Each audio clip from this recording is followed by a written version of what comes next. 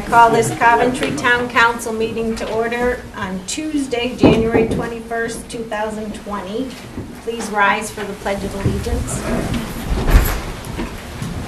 I pledge allegiance to the flag of the United States of America and to the republic for which it stands, one nation, under God, indivisible, with liberty and justice for all. Our clerk will note that all council members are present this evening.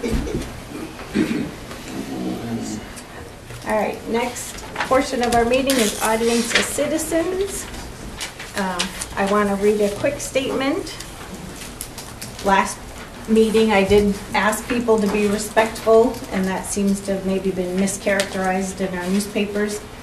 So I just want to make some clarification of the statement I made regarding audience of citizens at the last meeting. The intention was not to create a new policy or directive for the content of statements made by speakers. My intention was to point out that while speakers can speak on any topic, the most beneficial to us as a council, in terms of hearing your thoughts, are those that pertain to council business, government-related public policy, and town programs and services generally pressing matters that can be addressed by the council as a governing body. I'd also remind and encourage citizens to contact the council by email, to which we can give written responses to questions, and as always, please be respectful. Uh, We have the fire department and our fire administrator that wanted to present during audience of citizens this evening. If you'd like to go. I think the two fire chiefs would like to make a presentation.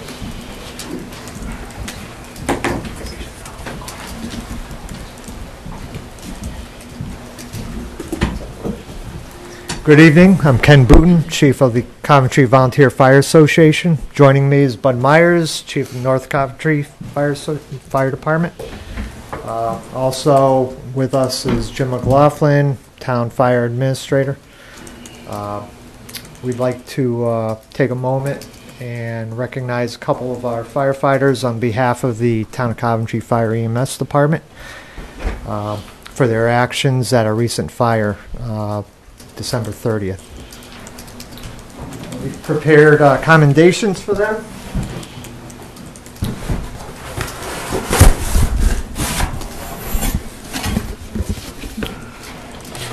Uh, Chief Myers, read Yeah, it. description. So, in recognition of your exceptional efforts on December 29, 2019, at 11:53 PM, you were dispatched to a reported fire alarm at 821 Main Street. Upon arrival, you were simultaneously faced with a structure fire and a burn victim. While assessing incident priorities, additional information was received that someone else was still inside the building. Without hesitation, you formed a team and initiated an interior attack, located and removed the second burn victim, and extinguished the fire. Your actions are an epitome of selflessness, and your heroic actions have not gone unnoticed. We pre- we present you with the Chief's Award of Excellence.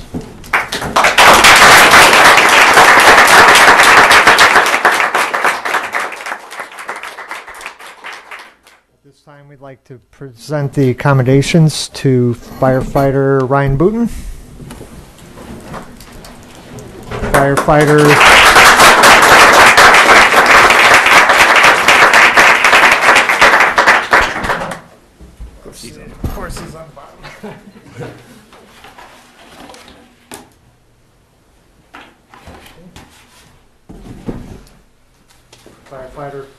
Peter Froment.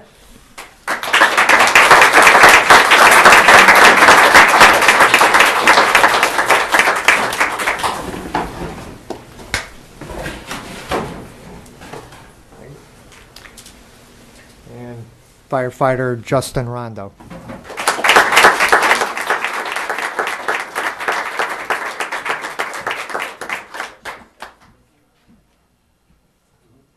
Not with us tonight and also getting the award is EMS Captain Craig Milan.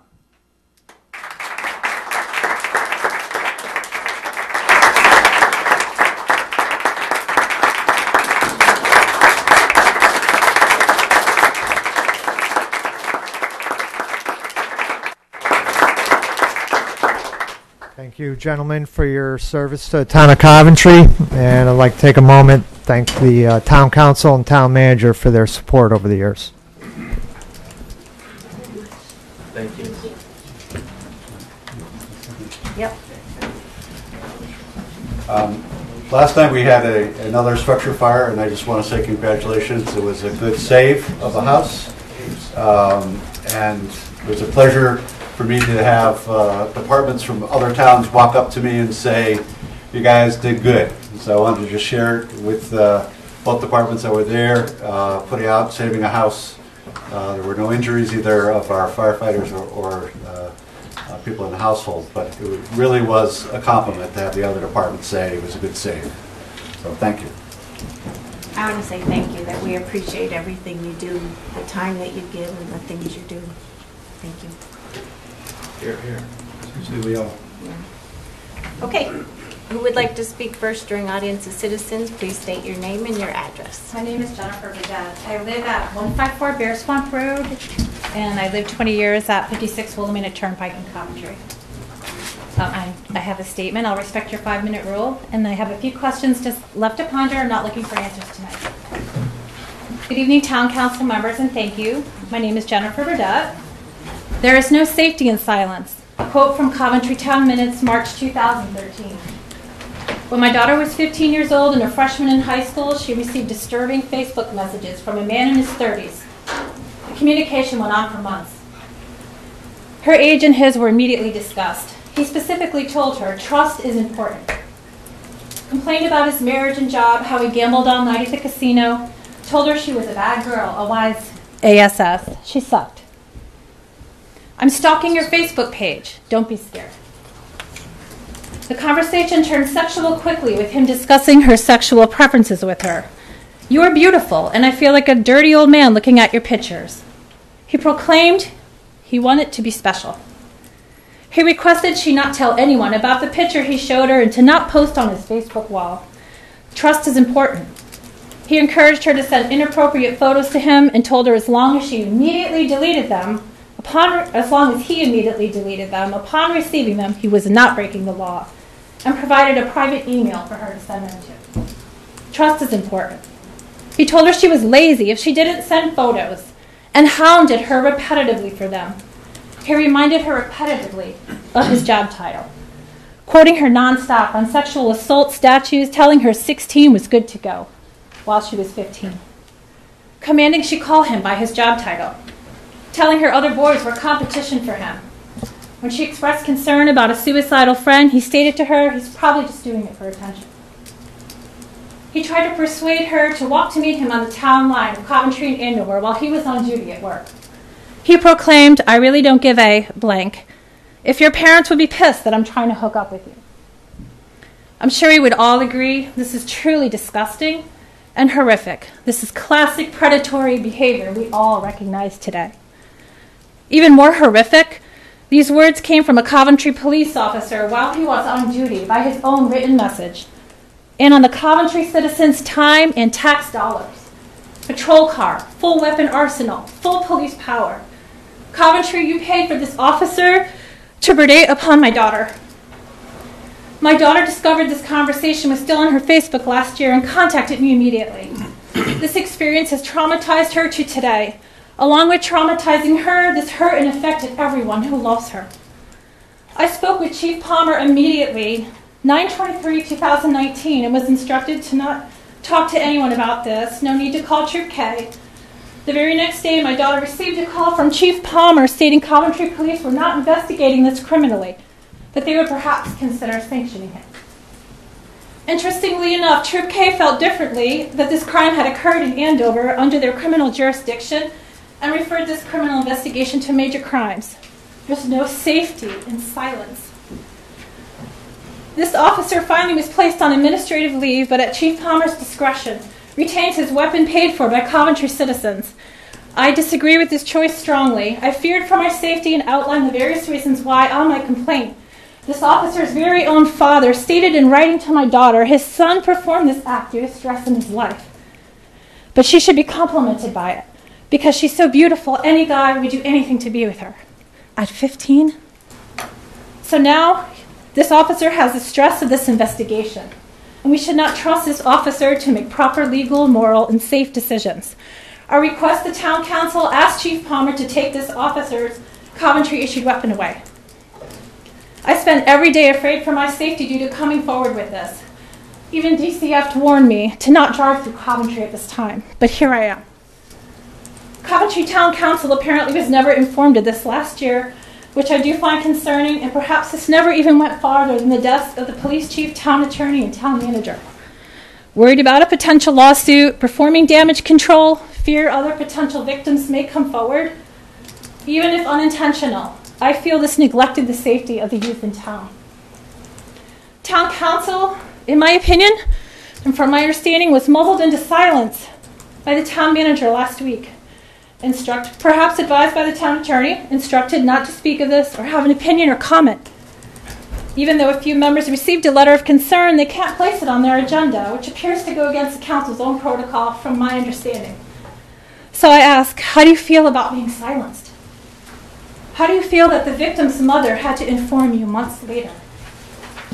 Who will change the town notification laws and require the police chief, town manager to notify the superintendent, school administration, and town council members when a Coventry employee is placed in a position of trust? Placed in a position of trust has been placed on leave for investigation of inappropriate behavior toward minors. Is anyone monitoring what town employees are doing on the internet while on duty for the town of Coventry? As this man himself said to my daughter, trust is important. Well, council members, I surely do feel it is important. And this officer destroyed the trust Coventry placed in him. Since you can't break the silence, I just have. Please protect the youth of Coventry. Send a strong message that wielding your badge as a tool of sexual intimidation and coercion to a minor is not acceptable behavior. And make sure Michael Hicks never has police power in Coventry again. Trust is important, and the silence is broken. And thank you for letting me speak. It's much appreciated. Thank you for your words. Thank you. And Thank you, council members. Who would like to follow that and speak next?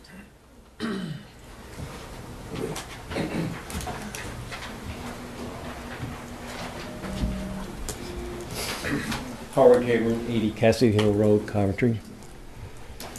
Uh, well, That's hard to follow, sorry, so sorry.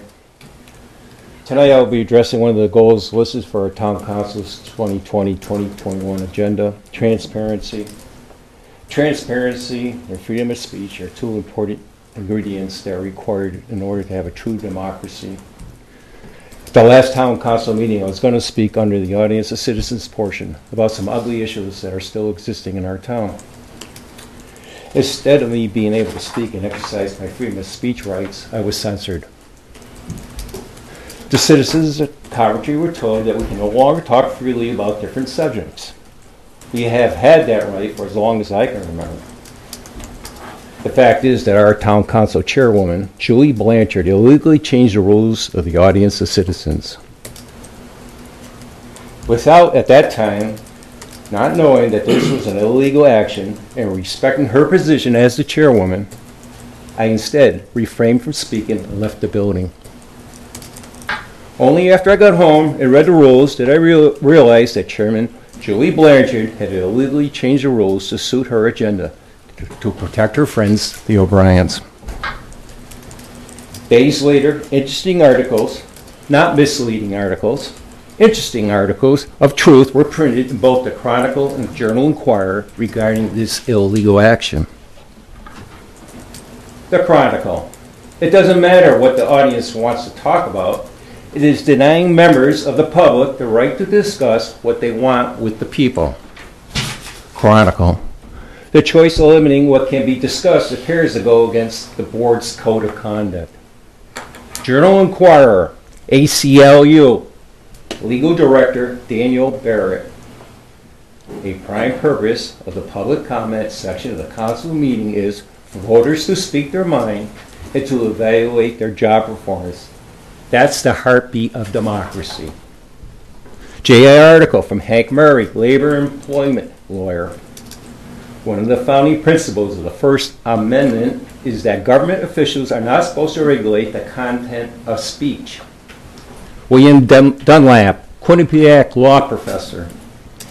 It is highly problematic the council wouldn't follow its own rules and regulations. Boards are generally required to follow their own rules, and, and if that is going to interfere with someone's ability to speak at a meeting, the court is likely to take it seriously. To sum it up, Chairwoman Julie Blanchard has illegally tried to eliminate our freedom of speech rights. I wonder why she wasn't willing to speak to our press. Maybe transparency applies only what is on her agenda.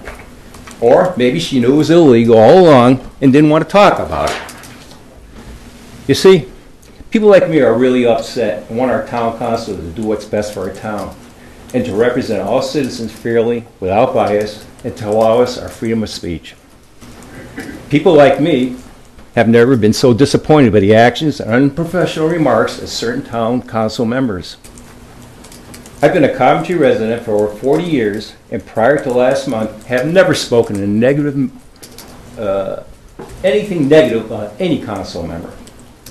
I wonder what happened.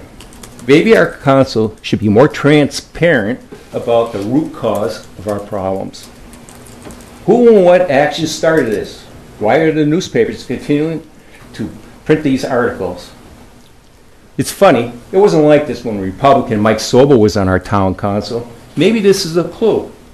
He did what was best for our town of Coventry, so he was dropped from the Republican slate by Mr. O'Brien Sr.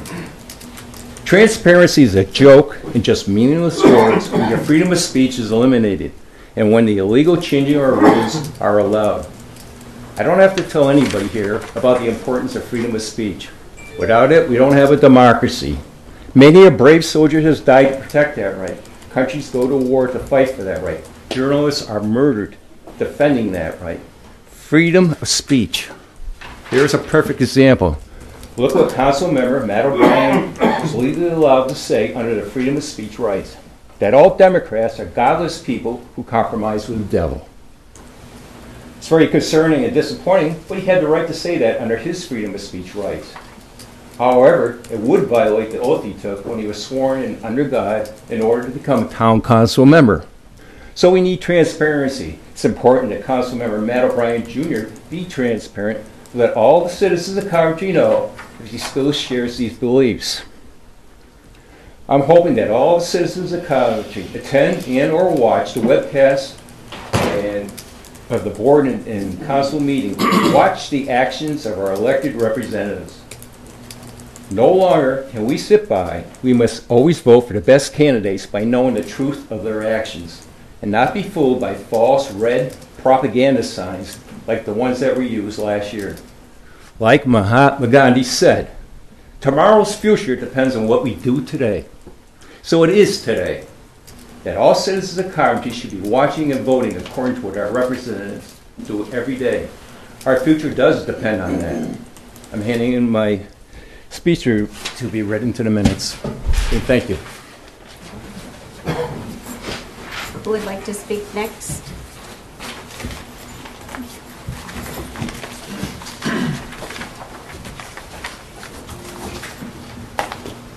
Carolyn Arabolis, 132 North Farms Road.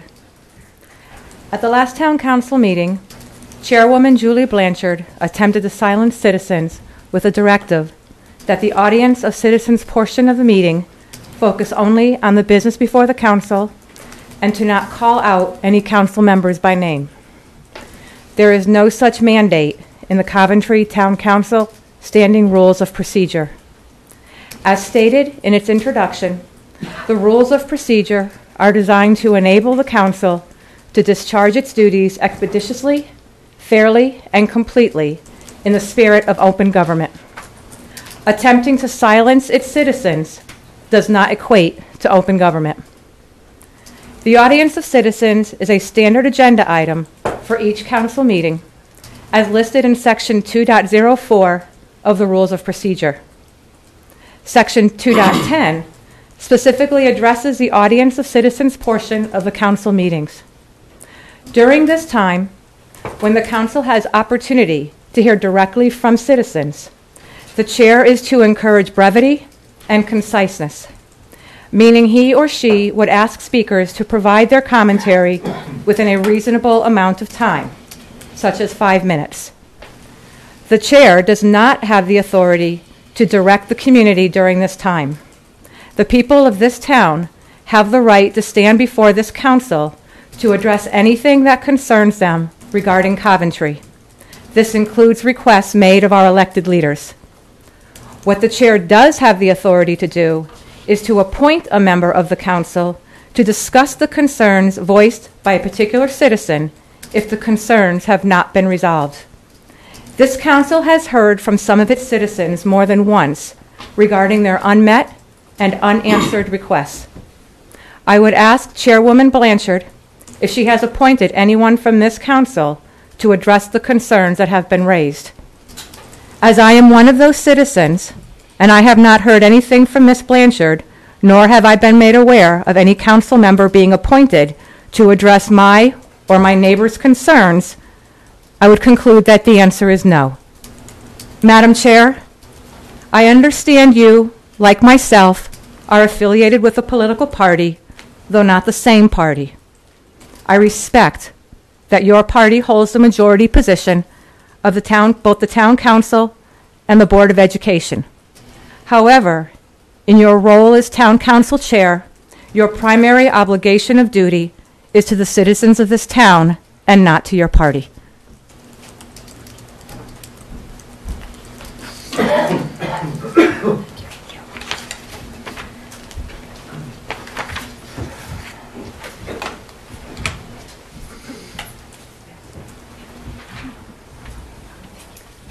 Before I begin, I would appreciate it if I could have the attention of um, all the members of the council.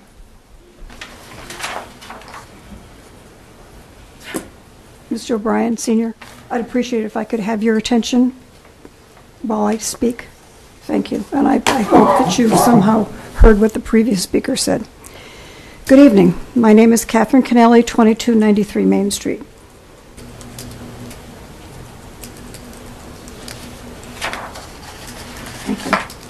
I am here tonight because something very disturbing is happening in our town. My first concern came when I saw oversized negative and misleading signs all over town leading up to the last election.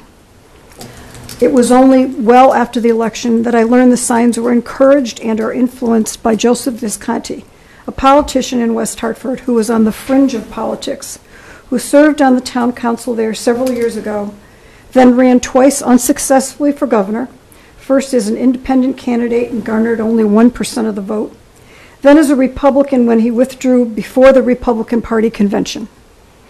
He also ran unsuccessfully prior to that for the U.S. Congress. As recently as August 2018, Mr. Visconti was criticized by both state Democratic and Republican leaders for making racist remarks about the then candidate for Attorney General, William Tong. Yet he managed to persuade our town Republicans to wage a negative campaign. All Coventry citizens should find this disturbing. We then had the unfortunate incident at a November Board of Education meeting when both of the O'Briens publicly used inappropriate language. Subsequently, Mr. O'Brien Jr. posted Mr. Orris's personal information on the Facebook page of Mr. Visconti. Fortunately, it was subsequently removed. Following these incidents, several citizens spoke at multiple council meetings, repeatedly asking for public apologies from the O'Briens, or at least an apology to the students who were in attendance at that board meeting. Neither has done so or has even defended his behavior, although Mr. O'Brien Sr. at the last meeting lamely backtracked after two months and tried to claim he had acted as a private citizen. The most recent event was at the last council meeting when the council chair, Ms. Blanchard, misused her position when she tried to restrict the public's right to free speech. A speaker was actually called out of order, so I do not think that her words were mischaracterized. I am not a political person. In the four towns I have lived in as an adult, this is the first one in which I have felt compelled to publicly address what I perceive as something similar, and I hate to say this, as what happened in a European country prior to World War II. I beg the remaining Republican representative on the council to intervene and lead his party in a more civil and positive way than what is happening now. Perhaps, however, the council as a body can effect change. Thank you. I would like this read into the minutes.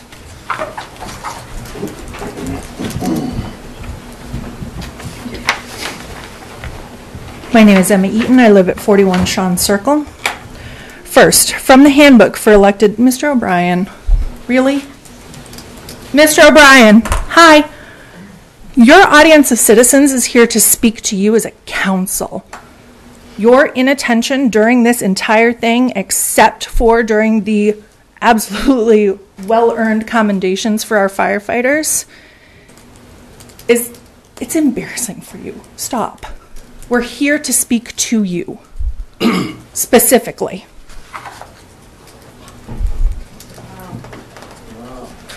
Mr. O'Brien, we will wait.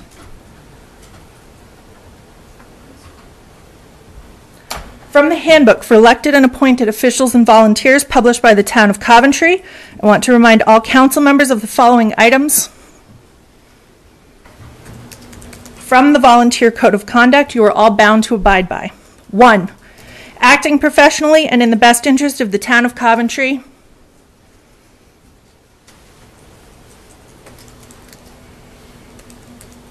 At all times. Two, treating people with respect, even when they disagree. Three, avoiding discourteous or abusive language or conduct towards others while representing the town of Coventry. Mr. Matt O'Brien Jr. and Mr. Matt O'Brien Sr. have both quite clearly violated all of these first three tenets and also clearly don't have much respect for the fact that they are bound by them. Second, Chairwoman Blanchard's attempt to restrict the free speech of this town's citizens at the last town council meeting by limiting the content of statements made at audience of citizens is out of line and contrary to the democratic process. Audience of Citizens exists as a way for citizens to express concerns about their town in whatever form they take. It is a key way that this council maintains transparency and accountability as an elected body. We attend these meetings to communicate issues we feel are of significant importance to this town that we are all rooted in and care deeply for. Additionally, this country relies on the First Amendment of the Constitution to limit the government from abridging the freedom of speech and gives people the right to petition government for a redress of grievances. In other words, the exact reason all of us have been coming here for months to try and right the wrongs that were done surrounding the Board of Education meeting in November. Lastly, I speak for myself when I say that I don't want this to continue for this to drag on. Council has important business to attend to, and it's my hope that this issue can be properly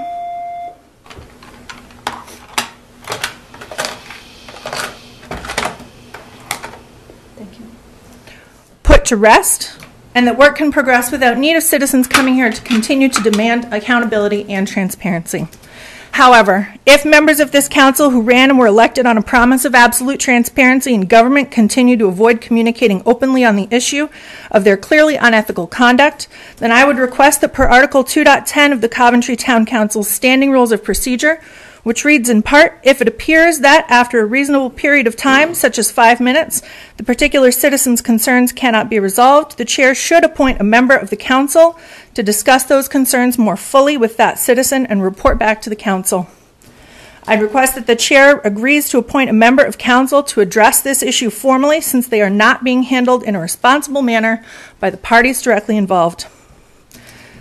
The need for this request is still easily avoidable if the members in question will simply acknowledge that their actions at and around the November 14th Board of Education meeting were an error, that they feel remorse for them, and that they regret the presence of children and families when all of this took place.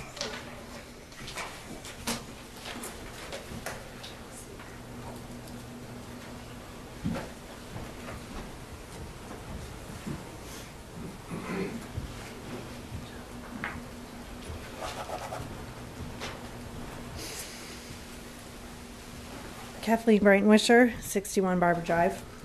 Um, I didn't plan on getting up tonight, um, but I felt like I needed to. Um, Ms. Blanchard, you indicated that you were mischaracterized in the paper. However, I was here last week, um, or two weeks ago, when you said um, to keep it to council business and not to call out specific members. Um, so I will take what you said at the beginning of this meeting as your way of saying that you made a mistake um, or misspoke. Um, but here's my concern or question um, to Matt O'Brien Sr. Um, why did you attempt to call me out of order? Um, did you not like what you were hearing from me? That's the only conclusion I have at this point. Um, and my guess is because the truth hurts.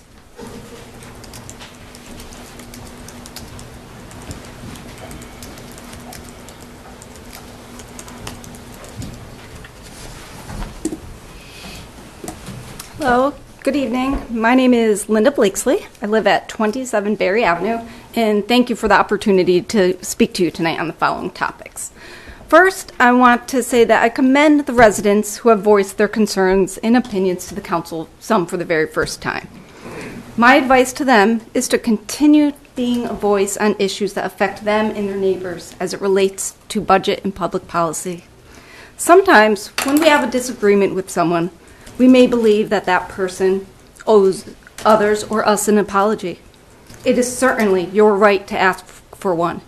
However, after you have requested one several times and the other party chooses not to offer an apology, you must move on. You are no longer being effective by continuing to repeat the same message with the same result. Be assured that your position is on the record. If you are concerned about the quality of life of the citizens of this town, then I urge you to take a stand on an issue that affects the daily lives of the residents. Sometimes our feelings get hurt, or we think we are right and others are wrong, but the only person we can control is ourselves. Take your energy that you have on this apology issue and transfer it to issues that this council will be debating. Second, according to the, moving on from that, second, according to the 2019 CERC Pro, Town Profile, there are 777 people of color residing in Coventry. I see a town council before me that does not represent the ra- racial makeup of this town. I ask that the council or steering committee address these questions and explore this topic in the coming months and years that they will be serving. What have the major political parties in town done to encourage people of color to join, become active members, and run for office? Has the town actively recruited people of color to work in the various positions in town? Remember, we can say that we welcome all people to join us, but if they don't feel welcome, then we are failing at this. We need to do more to ensure that all of our residents' voices are heard and that they are represented on the various boards and commissions throughout the town. And I'll be revisiting this topic um, in the coming months. Third, I wish to introduce you to you tonight ALICE. ALICE is an acronym uh, from the United Way. It stands for Asset Limited Income Constrained Employed. And I'd like to read an excerpt from the United Way report. Alice is our friend, neighbor, coworker, and family member. Alice cares for our children and aging parents, fixes our cars, and works in our local grocery stores, retail stores, and restaurants.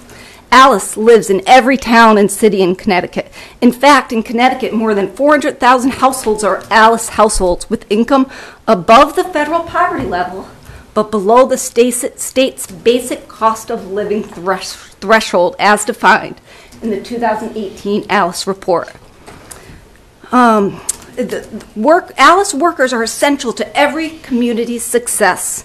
We lean on Alice for support, yet many Alice households are one emergency away from, from a financial crisis impacting their ability to feed their family, heat their home, and maintain their housing and ensure medical care. In Coventry, 23% of the households are Alice households. That's nearly one in four, nearly 25%. Uh, they're your neighbor, person behind you at the pharmacy. We're in this room.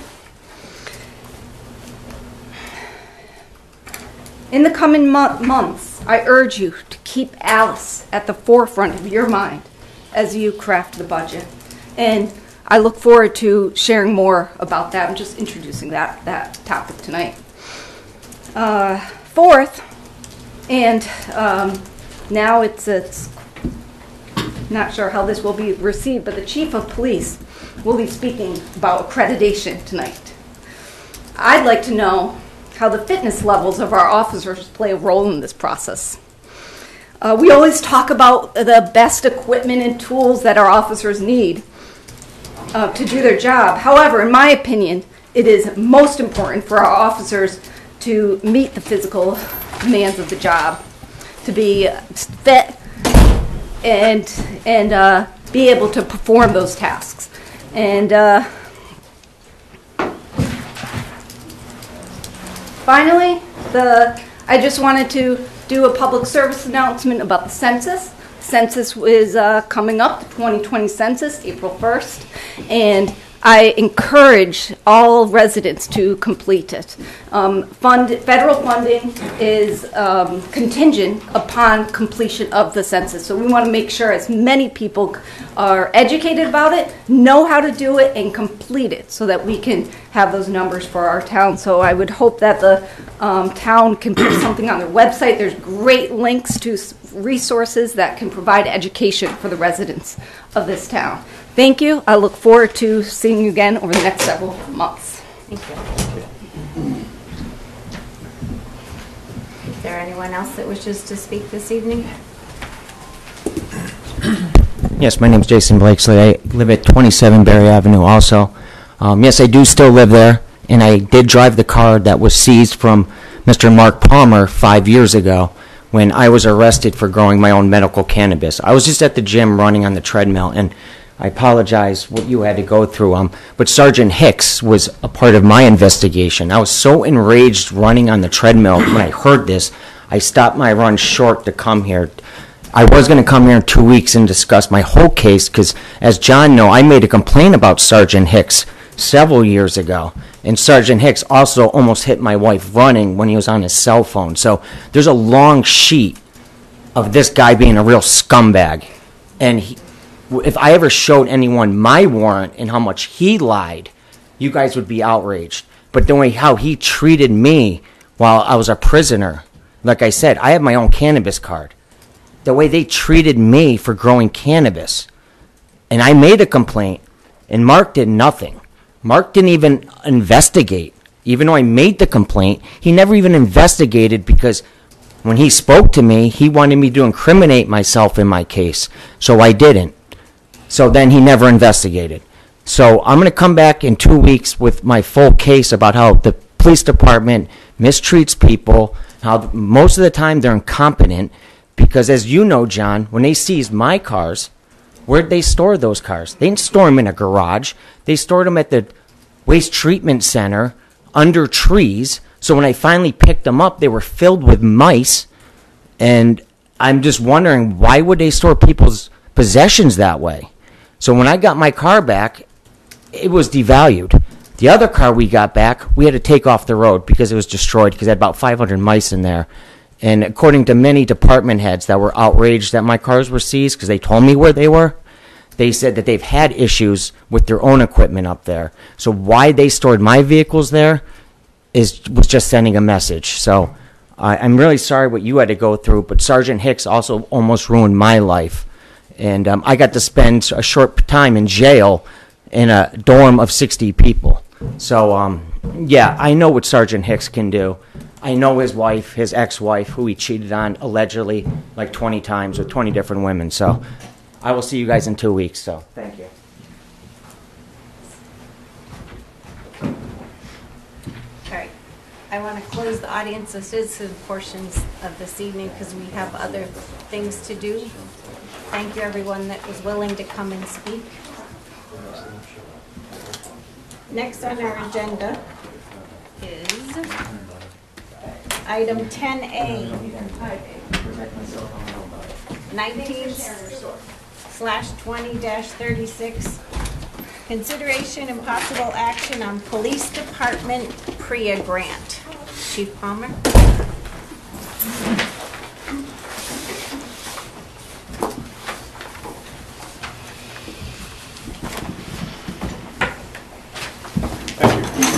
I sent the council members a packet in advance, to have some background information, it's quite extensive information, and uh, hopefully you you have a chance to look at it. Um, So this grant is um, administered by the uh, nonprofit organization called Impact Justice, and it's, the grant is called the PREA Targeted Information Support Program Grant. Um, PREA stands for Prison Rape Elimination Act, probably have that information.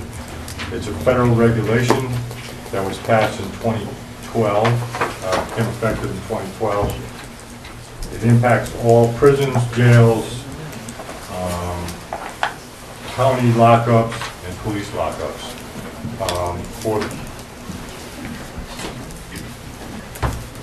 for the purposes of um, enforcement, if a state agency does not comply with the regulations, they can be, um, a certain amount of Department of Justice funds that are sent to that state can be withheld. It does not apply to uh, police lockups, however, the the regulations still apply to us.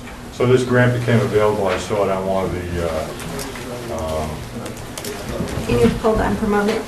John, can you shut that back door, please? There are seats available. Some people are standing, they want to come in.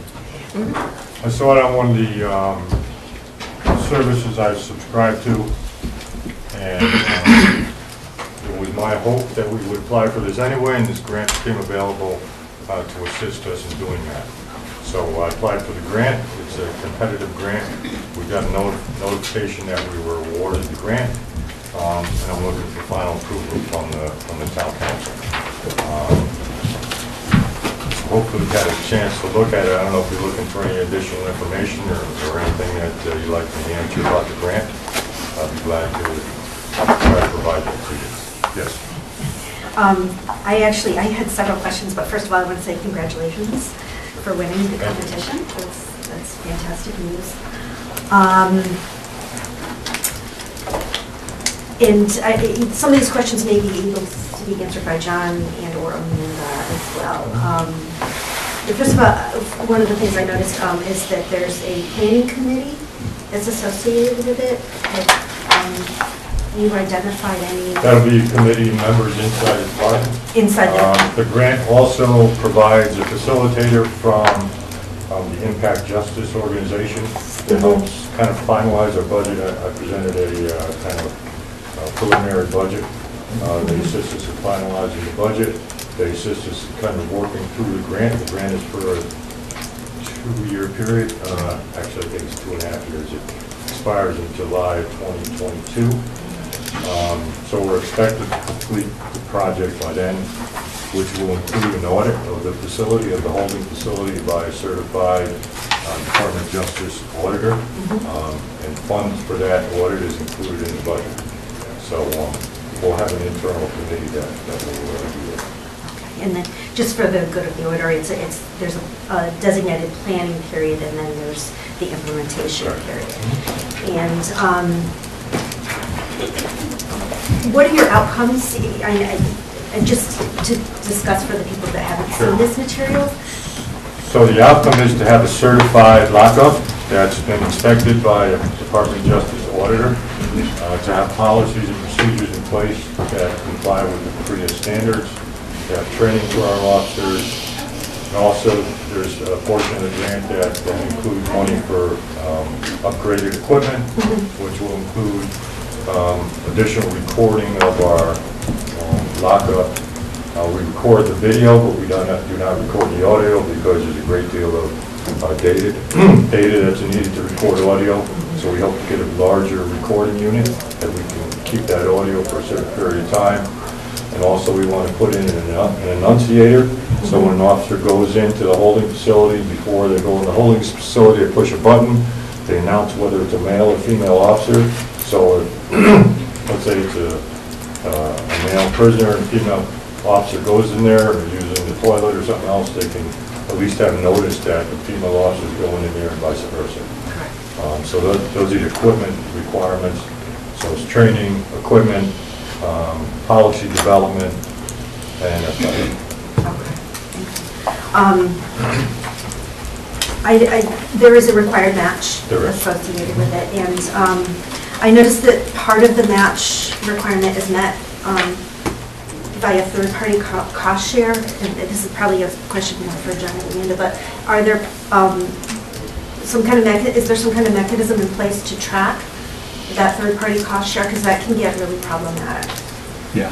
So I'd be responsible for recording all the uh, personnel time that's associated with developing the policy and doing the training and so forth. Um, There was no money being requested as far as what I read. No, it's all, it's all in-kind um, services. But it still must be tracked. Yeah, we have to track all that. We do, we have to track all the So- in-kind services. It's in-kind services. We, we have a lot of grants that have in-kind uh, matches, so between the chief and Amanda, we'll set up a mechanism through the timesheets to, to track that, that we, you know, do the spreadsheet to, to do uh, the FICA and the retirement and all those other benefit sides of that.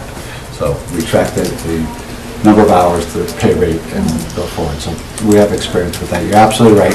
You have to make sure you keep it as you're going along, because afterwards it's impossible. Well, I- and I was just thinking about the, the third parties here that, that we're having, that are collaborating, um, because that's, you know, one layer more difficult to track. But I think that's the consult, the advisory consultant. Okay. So, Well, and then another, another collaborator is the, um, Impact? yes. They had something in their letter about it. Um,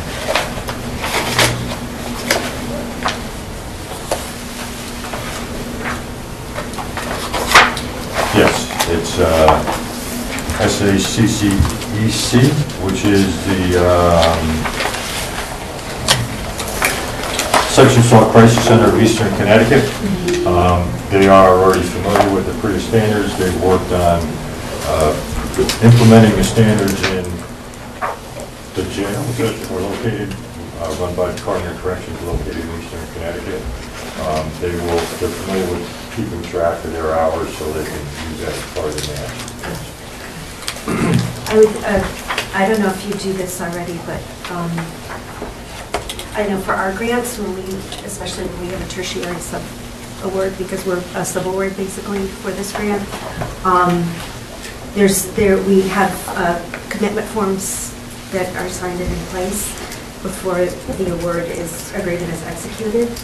If you want to forward us, we'll we'll have to look at that. Just have an example. For an example, sure. Yeah, we're, we're not that sophisticated, but our, our numbers are, are are smaller for the types of things we're doing, uh, in UConn, but we certainly can learn from them. Um, But we are aware that the federal government is not forgiving.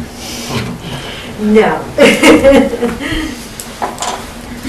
Does anyone else have any questions? or Um, Chief Real quick, Bowman? Chief, um, I noticed that most, most of our in-kind would be um, overtime. I'm just curious about budgetary, any issues at all, you know, that we... No, actually, uh, our in-kind will be uh, staff time from me, uh, my executive assistant, uh, three police sergeants, working on policy The- development. the training was all- The training's going to be paid for by the grant. Oh, it is, okay. Mhm. So the overtime for the officers to be trained will be, okay, cool. Taken care of by the So, one, one of the outcomes that I think the chief put in some um, memos that was not, wasn't brought up tonight, just for everybody else, is that when we establish this protocol and and procedures, it'll be a model for other communities. So once again, our department, although this doesn't sound like it tonight, is a leader in, uh, in uh, setting examples of how to do that. And, and we would love to, to comment, but it's inappropriate uh, for us to comment right now on any of these issues, but, uh, um, so. So in terms of PREA, I'm not aware of any other municipal lockup that is uh, certified PREA compliant by the Department of Justice. Did any apply for this grant? I'm not, I don't know. I don't, you know, I I know a lot of people in prisons and jails apply for it. I don't know if many people lock up. Um, I understand state police is um, working toward PREA compliance, they apply for the grant. Um, But uh, they- they're working towards it, so we'll probably collaborate with them on uh, policy issues and things like that.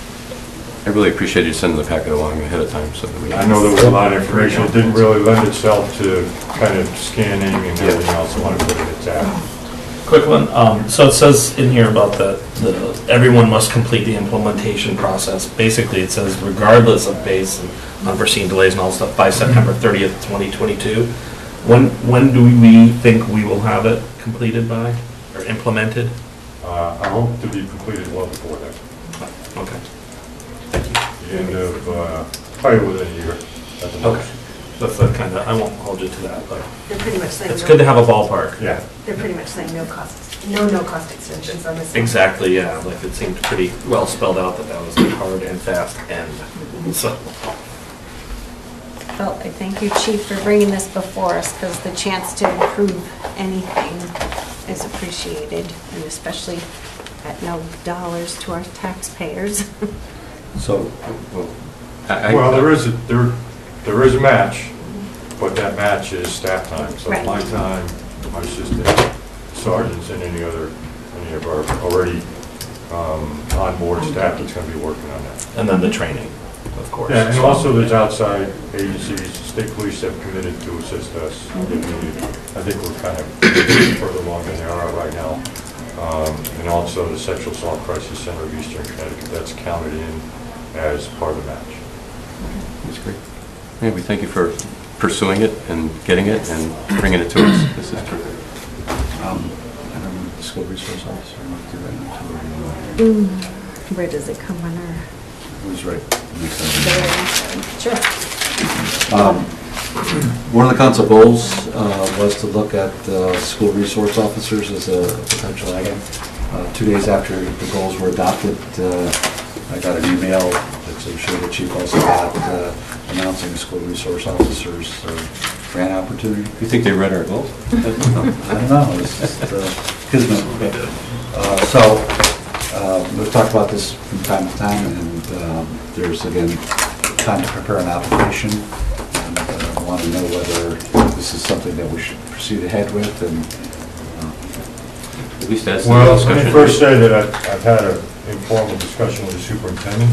Um, The Board of Education has not formally taken up this issue, so he really cannot commit to where they stand on whether they want to seek school resource officers in schools or not. I certainly am a proponent of that. Um, The Superintendent um, told me that he um, supports the concept. Um, You know, we talked about this several years ago, and there was um, discussions about funding, and where that funding would come from, but it just kind of fizzled out, to be quite frank with you. Um, So I think, um, obviously, we have to get the superintendent, the Board of Education on board with this, um, because I, I never agree with shoving things, people down, you know, shoving things down people's throats that um, don't want to get on board with the program. That being said, um, the grant application is due March 2nd, March 11th, I'm sorry. Um, Federal grants are quite extensive, so there's a lot of work that has to be done. We've already done a lot of the preliminary work in terms of signing up for the DUNS number and the System of Awards Management Database and so forth. But the grant, um, basically in a nutshell, is, I don't know if I provided this to you, maybe not.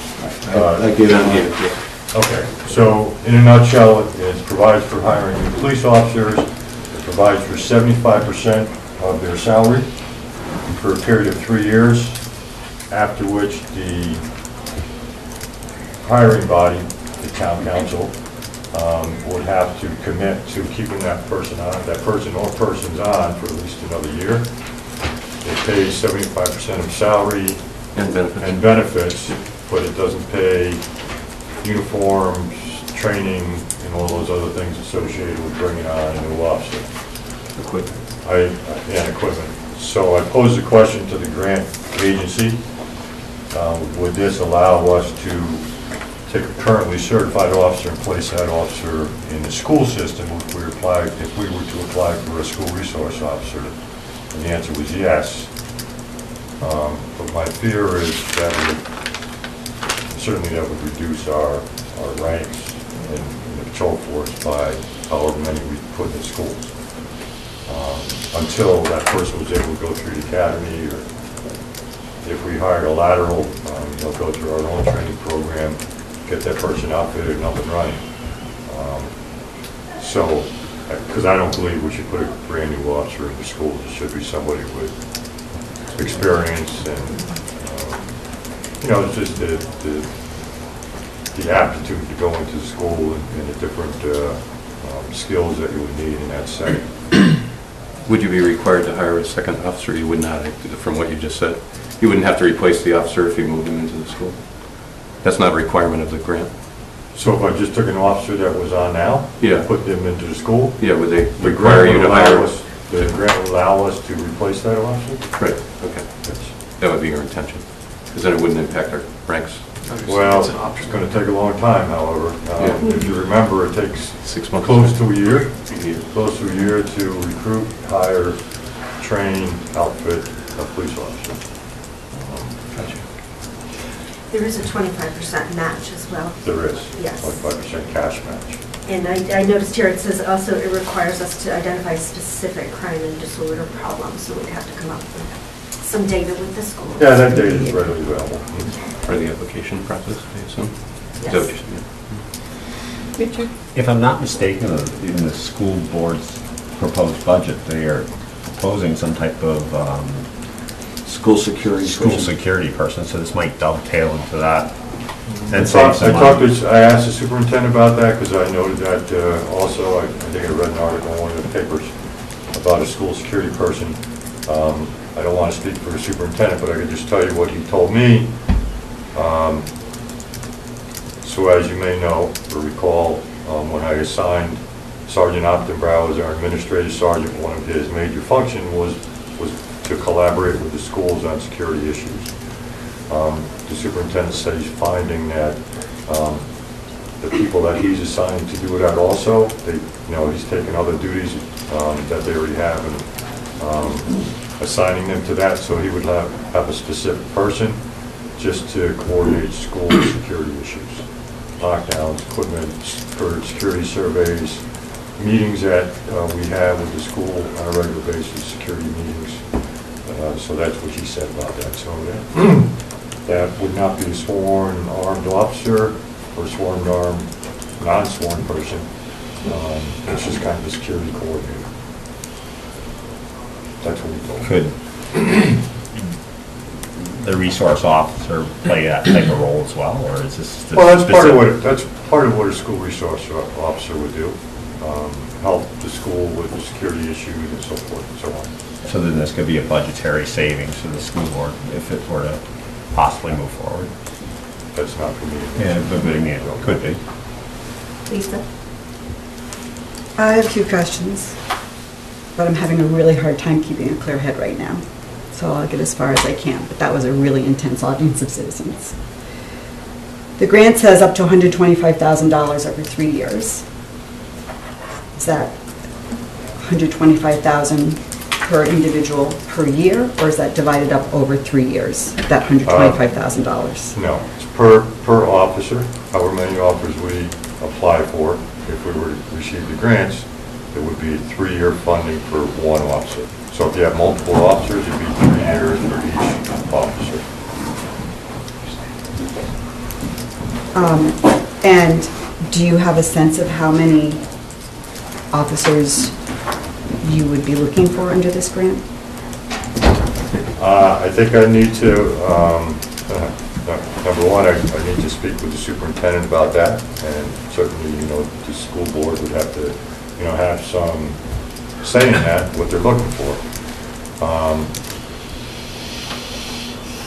Depends on what they want. I think, I think, to be realistic, I think I'd ask for one, because it's a very competitive grant. Um, The funds are distributed based on need. Um, So I think I'd ask for one. The grant requires a memorandum memorandum of understanding with the school. My question is going to be, has the Board of Education been consulted? But I think you somewhat answered that by saying you've spoken with the superintendent. And, and that he had not had a chance, because this just came up, obviously. It's not been addressed at the board level. It's just, we need to be clear that that memorandum of understanding needs to exist. Um, I I have- was going to also ask what the funding commitment is after three years. You uh, specified that we have to commit to one additional year beyond the end of the grant. that's problematic in this community. Um, There is a, a long history of um, resistance to funding additional police officers. I know because when I was on this council in the past, I worked very hard to get additional officers, and it was very hard to do. Um, So that concerns me. It also concerns me if you talk about moving one of our current officers into that position, or, or bringing up the idea of, and then using this grant opportunity to bring in a new officer. Once the grant is done, and we do that one additional year, whoever is in that position at the high school has seniority, which means whoever was brought on board is either out or absorbed into the budget. Um,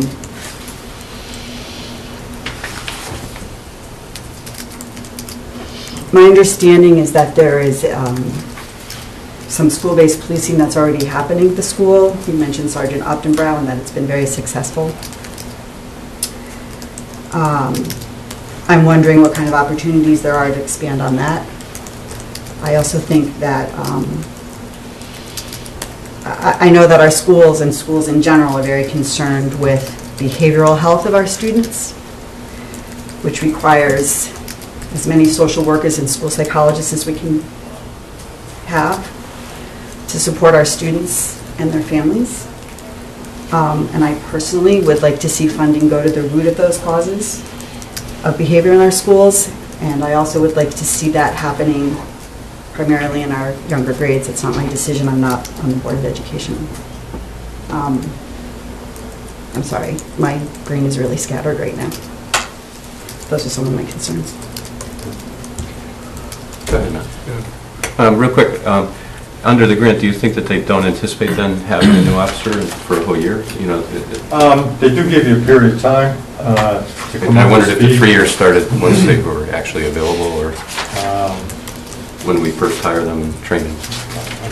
I I apologize, we didn't get a chance to look at at all the criteria, but I believe they give you time to get up to speed. Um, Did you? Okay. um, I'm sorry, I don't have the answer to that. So the purpose for tonight is not to make a decision, but just to- to get a a sense, is this something, because at some point we have to start a dialogue, a formal dialogue, because we don't, haven't started a formal dialogue with the the Board of Ed.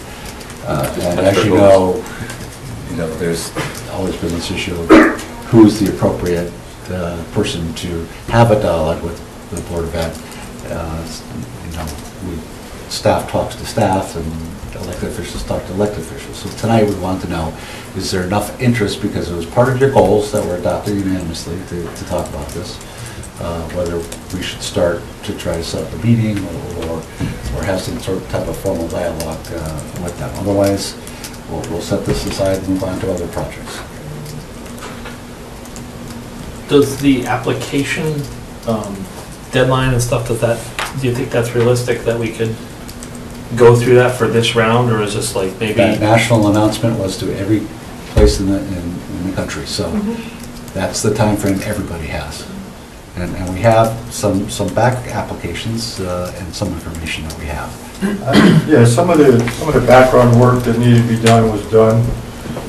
For other grants, you have to sign up with certain websites and, you know, get certain passwords and authorization to apply for grants, and things like that. Um, But the note on, on page is, start early. This is more than a one-day process, it is. In your view, what, what what would be the, the main benefits of having a dedicated resource officer as opposed to what we're doing now? Um, you know, And and do other schools, I don't know if you've looked into it, um, I'm assuming you have, but what do other schools do? Do they have uh, existing officers do double duty? Is it a shared um, position? As far as school resource officer, yes. Um, what- what- And I didn't bring it with me tonight because I didn't think we were going to get there, but uh, well, probably 18 months ago, I I put together kind of a lot of information for the superintendent to review. Um, Our surrounding communities, um, who has school resource resource officers, how many they have, who funds them. So I have that that I can provide the council at some later time. Uh, What I would, I would anticipate if we had one school resource officer, that officer would spend most of his or her time at the high school, middle school complex, and they might take a day and spend, you know, split that between the grammar school and the Robertson school, maybe two days a week. Um, But I think the majority of time, just because of the nature of the students and their needs, and, um, you know, the the impacts that I believe the school resource officer can have um, to kind of minimize issues before they get to the point where they have to call a patrol officer. I mean, our, the last thing we want to do is arrest children, and we do everything we can not to arrest children. Um, We'd rather refer them to um, Juvenile review. juvenile, juvenile- juvenile review board, and that's part of the MOA, as a matter of fact. If we do have a school resource officer, there's a formal memorandum of agreement that you enter into with the school district about, you know, how you handle disruptive behavior and things like that. I mean, It's not the uh, school resource officer's uh, duty or position to arrest children, that's not what they're there for. They're there to be a resource to um, the children. Um, It's the same officer, hopefully year after year, if we do get one, so they're a familiar face to uh, the the students as they progress through the different grades. Um, And it's important to get the right person in that position too. But but bottom line, answer to your question, Matt, is um, most of their time at the high school, middle school, and then maybe one, one and a half days split between the uh, grammar school and the Robertson school. Well, I for one would be in favor of at least a conversation with the superintendent, the chairperson of the Board of Ed, or staff to, to at least inquire what our next steps. See if they'd be interested in a joint Yeah. meeting. Okay, I would ask that you do that sooner than later. Great. Exactly. Right away. If it's, you know, if it's something that they think we should pursue, there's, there's still a lot of work to be done, um, and we have a lot of other I think in the past, there's been discussion of a resource officer, and correct me if I'm wrong, I wasn't on the council, I don't think the time that it came up, maybe you were, Lisa. Um, And I think it was going to be a shared position, you know, that it was going to be partially even paid by the town, partially paid by the school board. Well, this would be different, and maybe we'd have to absorb the 25%, but, uh, you know, that may be part of the discussion. I'm just trying to pre- pre- preempt you, you know, just to, if you're going to bring this up and put it in some kind of a way that might be attractive, then, you know. Yeah, it- just kind of to piggyback on that comment, um, I, I um, worked with, on the COPS grants when I was with the town of Manchester, and um, my feelings about them were kind of mixed because of this funding issue. Needs to be considered. Careful. I didn't write the proposal at the time. Um, But, y- you know, it, it- three years goes by really quickly. And then you've got, you know, no matter how you slice and dice it, you've got the cost of another officer. Now, if there's community appetite for this, that's great. Um, If there's not, or if people, you know, start to forget what, you know, then, then it, you know, you can run into issues So- budget time. Um, And then, and then, of course, along the way, you've got the twenty-five percent match, which can, you know, you're thinking about, you know, possibly only one. I was, you know, because the more police officers you add, the more match you've got to come up with. So just to point out, people may also ask what you do during summer. Well, during summer, Excuse me, you you. burn through a lot of overtime for vacation coverage, so it'd be really good for us to, to uh, have another body on during the summer. We actually joked about training them as a voting officer too, but but more joking than, than not. Um, If it's but- with the community policing aspect. we do, we do have, uh, most people like take vacations during the summer, so. But all of that should be part of this discussion with the board if we move forward at all. There's a call, of course. That was a quick one.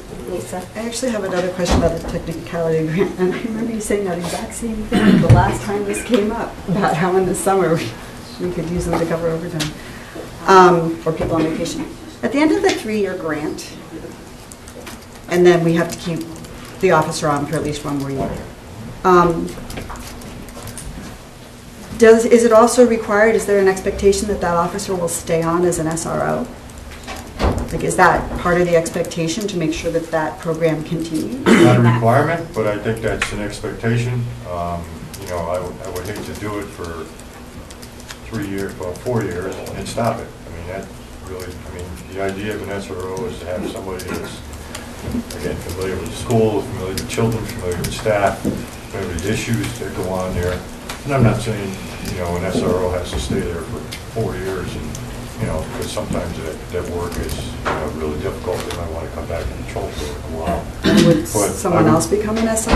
I mean, I Well, I just think, also- I- I'm sorry, I, I think the spirit of this grant is to address this issue and to address safety of our students, um, which is certainly something that I could support, but I would, I, I think to make this, um, to present this in the strongest way possible, there needs to be a commitment that we are committing to this ongoing position in our schools um, that then grows and becomes part of the culture and is really integrated as described in the grant.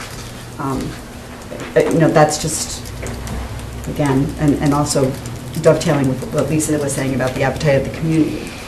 Um, You know, and I also don't want to bring someone in to work for four years and then say goodbye. Um, I don't think that's fair to an individual either. But the reality is, is that there's always natural turnover in the department too. So you could just not hire another officer, he's saying? You could. And that takes me back to what I first said about making a commitment to the culture, why you would even consider having an SRO to begin with. It's not to find time four ju- years down the line to have an additional police officer. Just for the record, though, all the time they're spending now is taking away from other things we could be doing. I'm not saying it's not. So That's we are making a that's commitment now that is not legally binding anywhere. I I completely understand that, John. That's another issue. I'm talking about what is the commitment that we as a town are making to our students when we talk about this grant, when we have a conversation with the Board of Education. I, I, com- believe me, I spent a lot of years understanding how understaffed our police department has been, what overtime has been like, the demands on our officers, the call-ins in the middle of the night. I get that. An SRO is not the solution to that problem. An SRO is an- a commitment to our children. And, and obviously, it's embraced so, so much so right now that the superintendent is putting a position in just a liaison with our, with our minimally staffed time. I'm not disagreeing with any of that. I fully understand how understaffed our town is. I, I think this is a great starting point for for It's a both, good place uh, to start. So we'll It's a great schedule starting point. Well, Let's, a joint meeting and continue the conversation. If they wish to. Right. My expectation and hope would be that it would continue, and that's why we, I mean, we wouldn't propose it just to be a three-year, we didn't propose it knowing there was even a grant. Right. You know, so we were willing to consider um, the implications of hiring them as an employee, you know, of the town directly, so I'd say that that kind of speaks to what our, at least, level of initial commitment um, would be. So- How much time do you think would be needed for the grant writing process? much as possible. As much as possible? It's not a day. No, it's Yeah, not. I get that. I mean, I would certainly. You know, uh, you know, we have a number of other things coming up. um, CALEA accreditation, uh, Yeah, so as much time, you know, whenever you can schedule a meeting, you just give me as much notice as you can so I can ask. Right. Well, And there's no guarantees we get the grant. It's, Right. it's highly competitive. Um, It goes out all over the country to all local, I don't know if it goes to state, but it goes to all local agencies and tribal police. So We're competing against Los there's Angeles. probably 18,000 law Oh. enforcement agencies. we have our own tribal nations that have police force. So, uh, just one question, and maybe for whomever might have an idea about this. The ongoing funding would be from the town budget, from the We board? need to have So- the so I discussion know we- first. Okay, we I need think to there's work been, that out. I think there's been a, a discussion in the past, is what I was mentioning, was that they had discussed a partial, you know, from the board and partial from the town, and that, that the officer could work in the summertime doing what John was talking about, basically doing town duties on it as well, so, I mean- I mean, I don't see why that wouldn't be, a- if they agree that this is something that's beneficial to the students and the safety of our students, that, let's take advantage of the grant, but let's look to the future, that this is something that we would like to do, so, then I think that there would be some funding from the board and some from the town, that would be my hope. Okay, yeah, no, I just wanted to know. And, you know, just as an aside, the the town and uh, particularly superintendent has very, been su- very supportive of officers going up to the schools. They actually just finished uh, last week hooking up a computer uh, substation for us that we can log into our police computer, so if an officer, officers want to stop in here and do reports and those types of things, they can, they can do that. Very good. And we'd encourage that to continue, so. Thank you. Thank you. Thank you. Thank you. Thank you. Chief. All right, Where we go? we are going to item 10C, 19 slash 20 dash 38, consideration possible action on fire transition study committee recommendations. It was supposed to take place beginning half an hour ago. So thank you, Steve and Jim, for waiting patiently. No problem. Uh, Thanks for having us. Sorry, uh, we had some other people, but uh, they I left know. structure fire in Andover. Okay. So, uh, yeah, thanks, thanks for having us. Um, We did uh, include the slide with the agenda, so I'll try to be brief running through The this. presentation? Yes. Yeah. And uh, if you have any questions, please, uh, please feel free to jump in. So um, on the second slide, the agenda, um, just kind of wanted to give the council a quick overview of the committee. Um, I know some of you you know, weren't here uh, when the committee was formed a little over a year ago, and then really spent most of the time on the phase one deliverables, um, which are specifically called out in the council charge to the committee. Uh, And then finally, uh, just go over our recommendations and and next steps. Um, Again, I won't read this, but this is literally uh, from the charge uh, that was written, I believe, around September of 2018, um, and uh, and that we've been working since January of 2019. Um, Again, we're here uh, to discuss the deliverables in in the Phase 1. Uh, Assuming we uh, are approved to continue, we'll start with the deliverables in Phase 2. um, at our next meeting. Um, Quick overview of the committee, uh, again, from the charter, or from the charge, it was designed to uh, include representation from the existing, uh, all the existing departments, uh, CVFA, NCF NCFD, and also the town of Coventry, and then Jim, obviously, uh, as a fire administrator. Uh, So those are the committee members. We've been meeting for just a year now, um, you know, one to two times a month, plus subcommittee meetings to delve into specific details. Um, And then we did have a review with the prior council in August, uh, kind of an abbreviated uh, where we are. And, uh, you know, at that point, said we'd be back in December or January to, um, for a full, full update. And then Jim's been providing updates as well to the uh, so uh, we'll get into the deliverables uh, from Phase 1. Again, uh, first is the SWOT analysis. Uh, SWOT stands for Strengths, Weaknesses, Opportunities, and Threats. Um, And again, this was presented uh, in August to the council then. We had no changes, I just included it here uh, for the sake of completeness. Um, Certainly pause if anybody has any questions on this specifically. I don't have a question, just something I noticed, and we could certainly take this up at another point. But I noticed as one of the external harmfuls, um, maybe this goes back to what Linda Blakesley was saying during Audience of Citizens, is uh, lack of affordable housing, um, which kind of jumped out at me to see that in a fire study. Yeah. Uh, It definitely is lacking in our community, but I, could you just talk a little Yeah. bit about how that's relevant? Sure, and, well, and and I guess let me give a little bit of background on how we actually came up with these items. So, um, what we actually did as a committee was try to figure out how are we gonna get input from all of the members, right? Not just the committee members, the seven of us. So we actually, um, put this template on the whiteboards at, at both stations and invited members to just write whatever they wanted to, right? What did they feel? Um, you know, and, and, you know, put check marks if they agreed with somebody else, right? And so we um, came back and then kind of, you know, uh, took the, all those comments and came up with this. So that was literally a, a comment that a member, and I don't remember what, what department it was from, right? But that, um, know, the, the thought was that if you're trying to entice younger um, members to join the department, right, you need to have appropriate housing uh, for them. I, I do know we actually, uh, I don't want to say lost, but a few members have stepped away for, you know, um, because they didn't have housing or had a better job offer, uh, uh, more appropriate housing in other areas.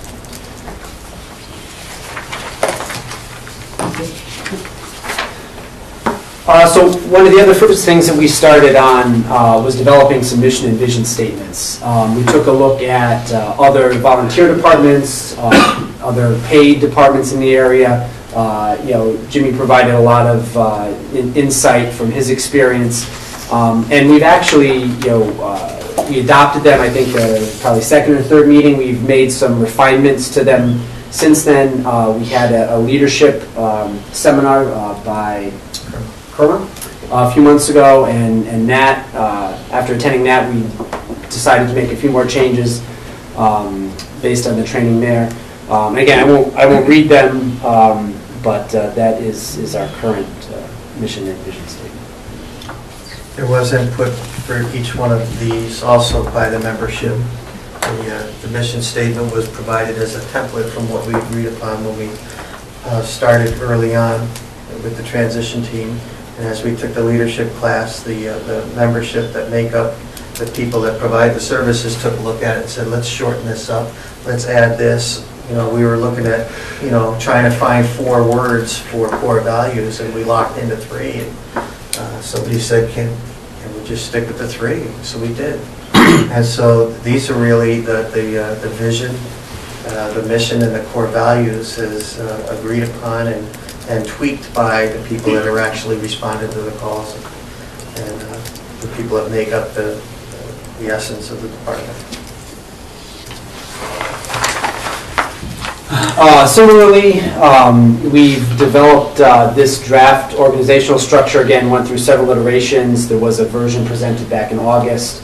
Um, We also, as we started working on the job descriptions uh, and and tweaking what they were responsible for, we came back uh, a few times and made some additional um, changes here uh, to better support, you know, what uh, the job descriptions were, what we thought needed to be done, and and the views, again, from the members of the departments.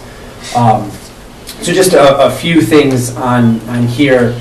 Um, obviously, uh, the, the boxes that are in dotted lines are intended to be what we generally refer to as staff positions, not meaning paid or town staff, but they don't have uh, real operational roles in an emergency scene. Um, you know, they provide uh, administrative or behind-the-scenes um, support um, to, to make the department run smoothly. Um, And again, this is our suggestion of how the chief uh, and, and the fire administrator and the town manager would have, would be related as well uh, from an organizational perspective. We um, basically thought uh, we would divide it into three, three separate operations, uh, each with a deputy chief uh, in charge of their respective operation.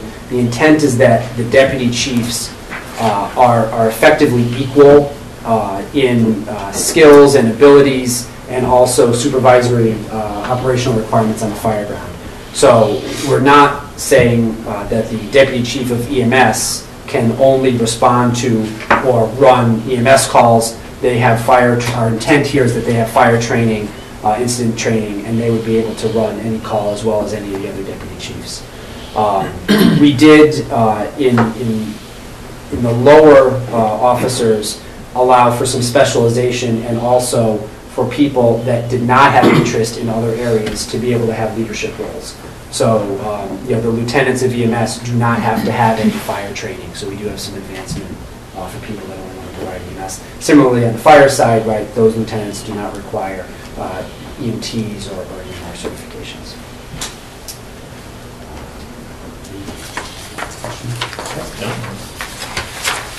Uh, We also, uh, uh, the charge, you know, asked us to look at uh, future roles of the associations. We did spend some time on this, but, you know, basically, we think that the individual associations are free to choose uh, their own roles in the future. We certainly want to support them and hope the town would support them uh, as a social, um, you know, aspect, uh, potentially as a fundraising aspect, right, recruitment and retention, um, that sort of thing. But again, you know, it- I think, you know, as, as members, and members are even today joining the town of Coventry Fire and EMS Department, they're not necessarily joining an association. It is possible over time that the associations will, uh, you know, seek to, or or, uh, cease to exist. Um, You know, we don't really see them merging, right? We see them as, as existing separately as they are un- until uh, such a time as they don't want to exist anymore.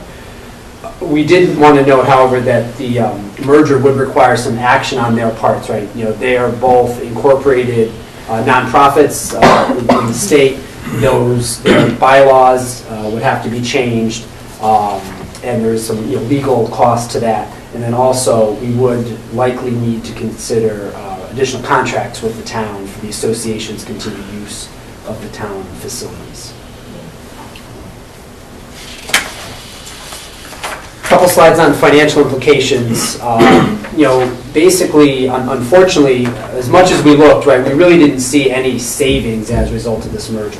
Most of the savings from a merger perspective have already been executed over the past several years with combined purchasing um, and and other work that Jimmy and and the town have been doing. You know, uh, similarly, we don't really see any reduction in apparatus as a result of this, Um, so, so no, no real savings. But it- you're increasing efficiency and better quality of service. and A- absolutely. All kinds of, you know, Right. obviously, hopefully be able to grow the department and, you know, Sure. attract new people. So there's lots of benefits, maybe not straight A- dollars. abs- Absolutely, yep. Um, And so then the next slide is, you know, a a list of potential increases that we came up with, right? Um, And, and this is, there's a couple assumptions and caveats here. Um, You know, the first thing that I will say is that, you know, we completely understand and and do not expect that all of these um, costs would be incurred in a single year. Um, You know, some things need to be done right away, some things are nice to have and can be rolled out over a period of time. The other assumption is you'll see a lot of these items with an asterisk, um, make an assumption of about 60 total active members uh, from both existing departments today. Um, You know, for things like uniforms and relettering, uh, turnout gear, right? We, uh, we expect there's a a per unit cost for that, and and these assumptions are based on 60 active members. Um, you know, and- and unfortunately, there are a lot of items on here, right? And, and the departments, uh, over many, many years have uh, built up inventories of uniforms and, and badges and and whatnot, right? And is that, from an operational perspective, do we have to pay for that all year one? No, but, you know, being a paramilitary organization, there is a desire at, at some point to become uniform again, right? And, um, and and we expect that, uh, that there's a significant.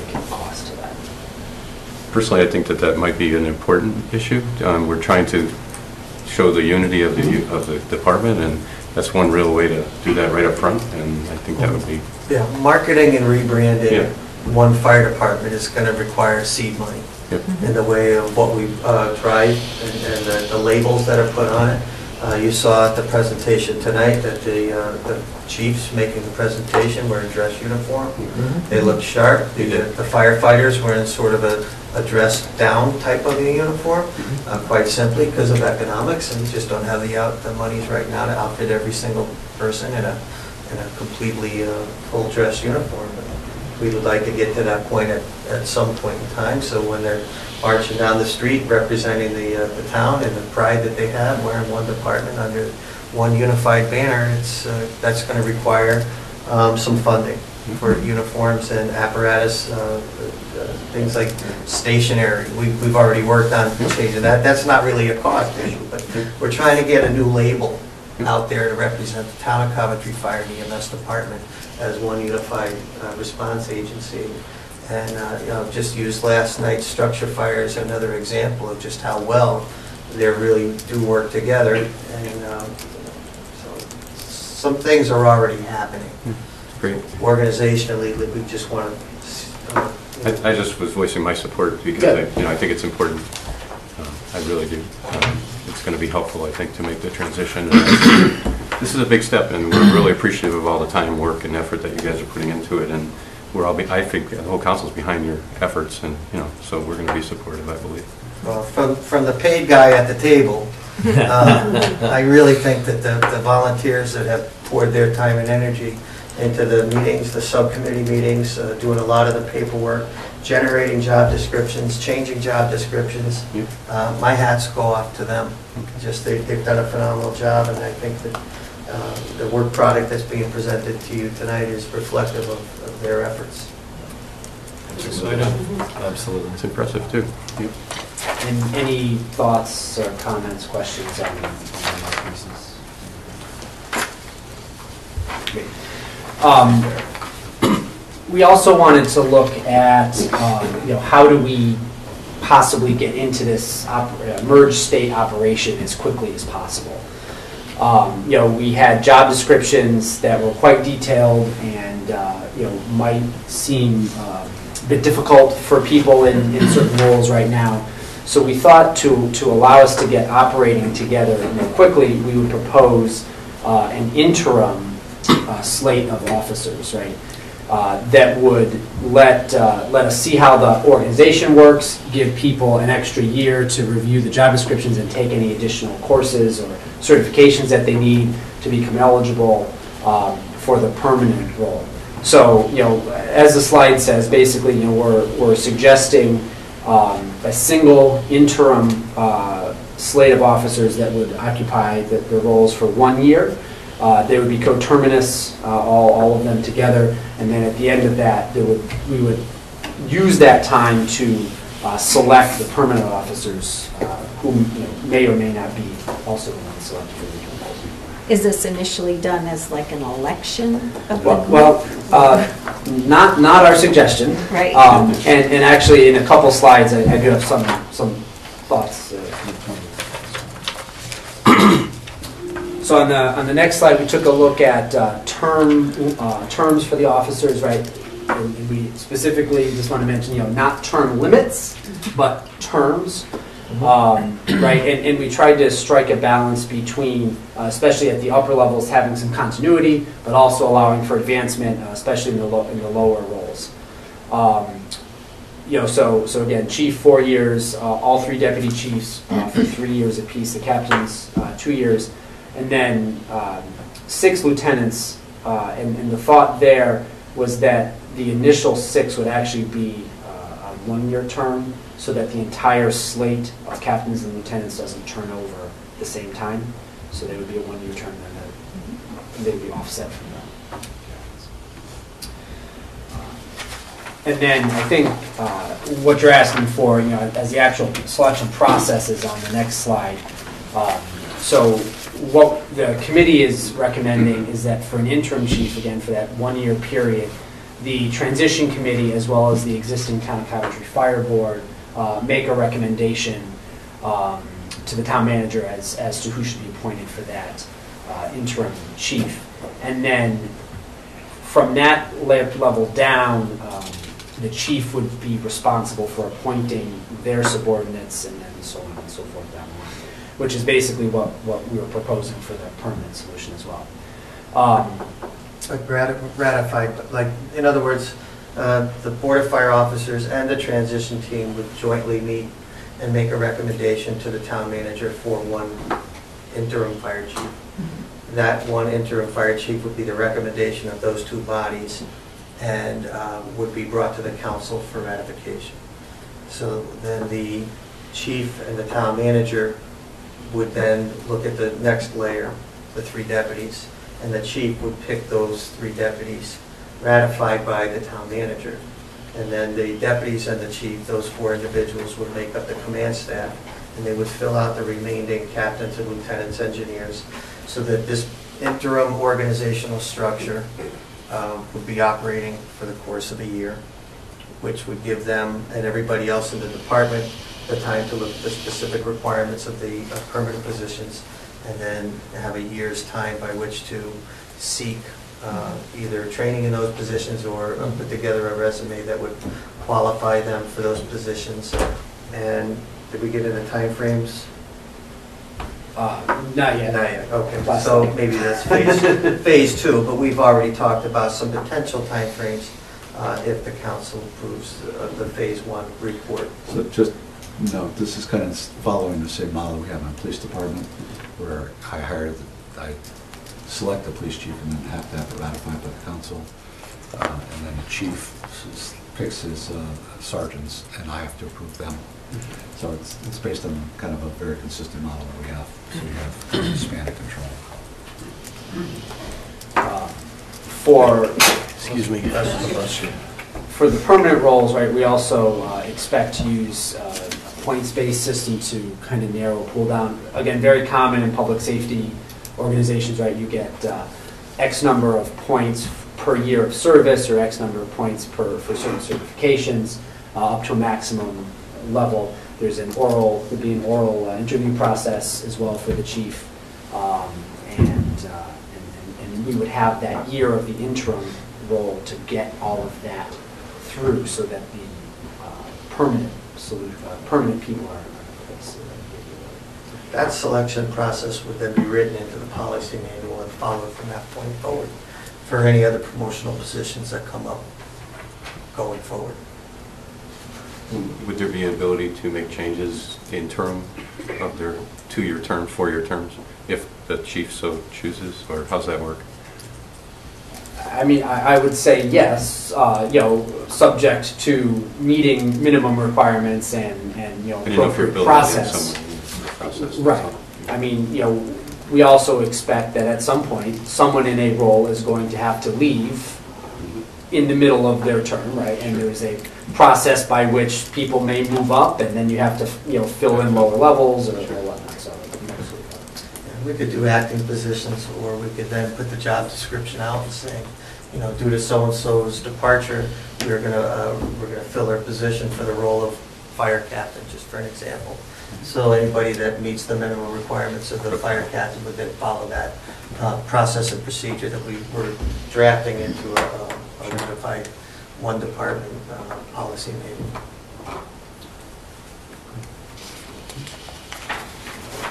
Uh, Final um, item from the charge was addressing recruitment and retention. Um, I think we, we did want to highlight a lot of the work that's been done to date, both by, you know, Jim and the, uh, and the fire board, um, you know, to, to improve things, improve morale and and recruiting retention already. You know, we- we've held additional open houses. Uh, We have someone that's working with UConn specifically in trying to attract students.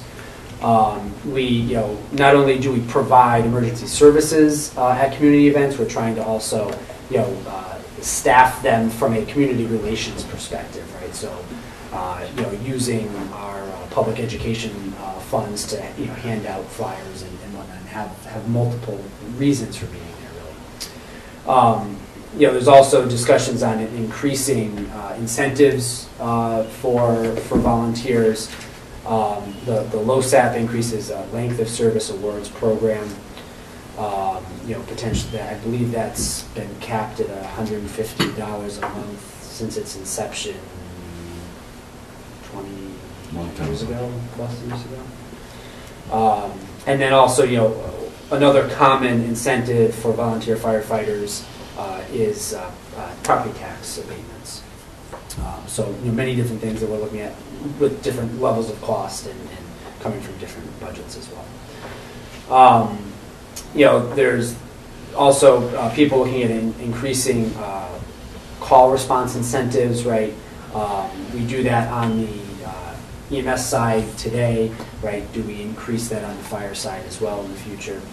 Um, We want to increase the visibility of the junior firefighter program, get that back um, up and running again, right? And you see in the org chart, we had somebody dedicated uh, for that. Um, You know, additional training opportunities, uh, social media, right? Again, something that the fire board's been doing already. Um, And then also increasing public education, right? We've uh, also got a person on our organization to to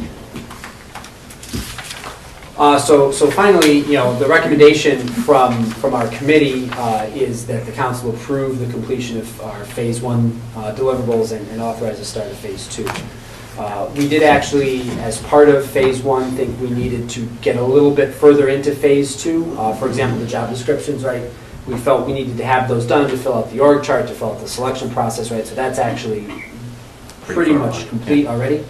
Um, We've uh, already written training policies uh, for the new organization that have already been adopted uh, by the town uh, fire board as well. Um, And they've also done a lot of work to get a lot of other policies already written. So a lot of the phase two work is, is well underway, might need a little bit of review, um, but, but can be uh, finished uh, pretty completely, uh, pretty quickly.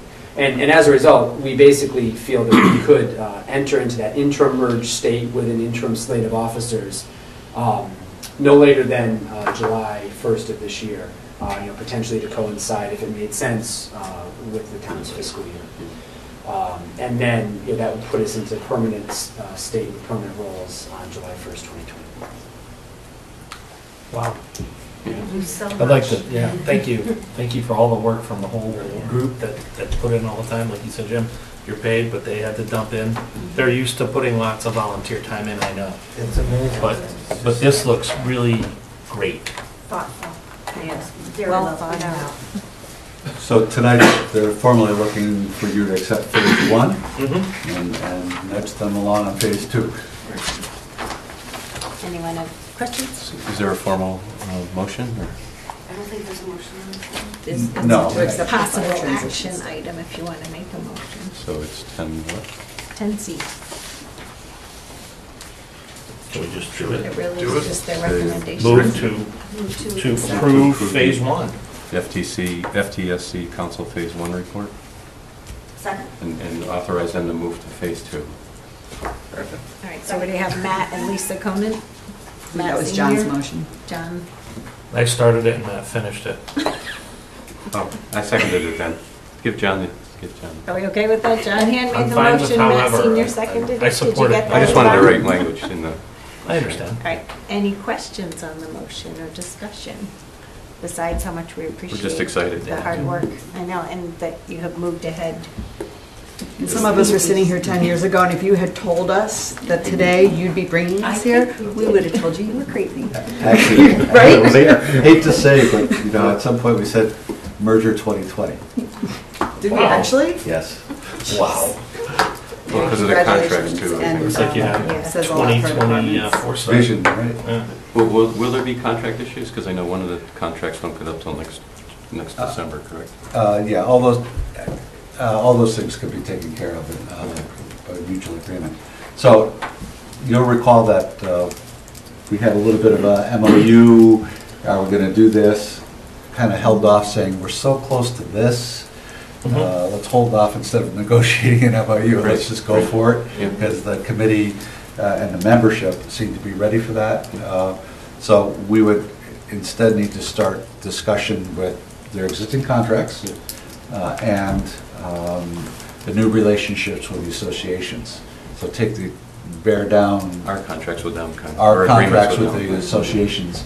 Some of that, we actually would have another full year in this interim state to- to do, but we'd have to at least have an extension saying, maybe these sections of the contract, cross them out. Here's an interim one-year contract so we can get a little bit more experience. But I, I have, on behalf of the council, and hopefully uh, I'm I'm correct, have said that we believe that just associations still serve a vital role, and that we would need to, want them to still have office space and still have the use of the halls and and so forth as a priority user. Because the buildings being used is good, a good thing. Uh, And if the, if the association's having a- an event there, many of them are firefighters, and when the call goes off, they're there, which is a really good thing. Uh, So uh, we would start instead to work on a draft of some type of agreement to bind us over that, that year and start to establish a relationship with the the associations that choose to still uh, be around.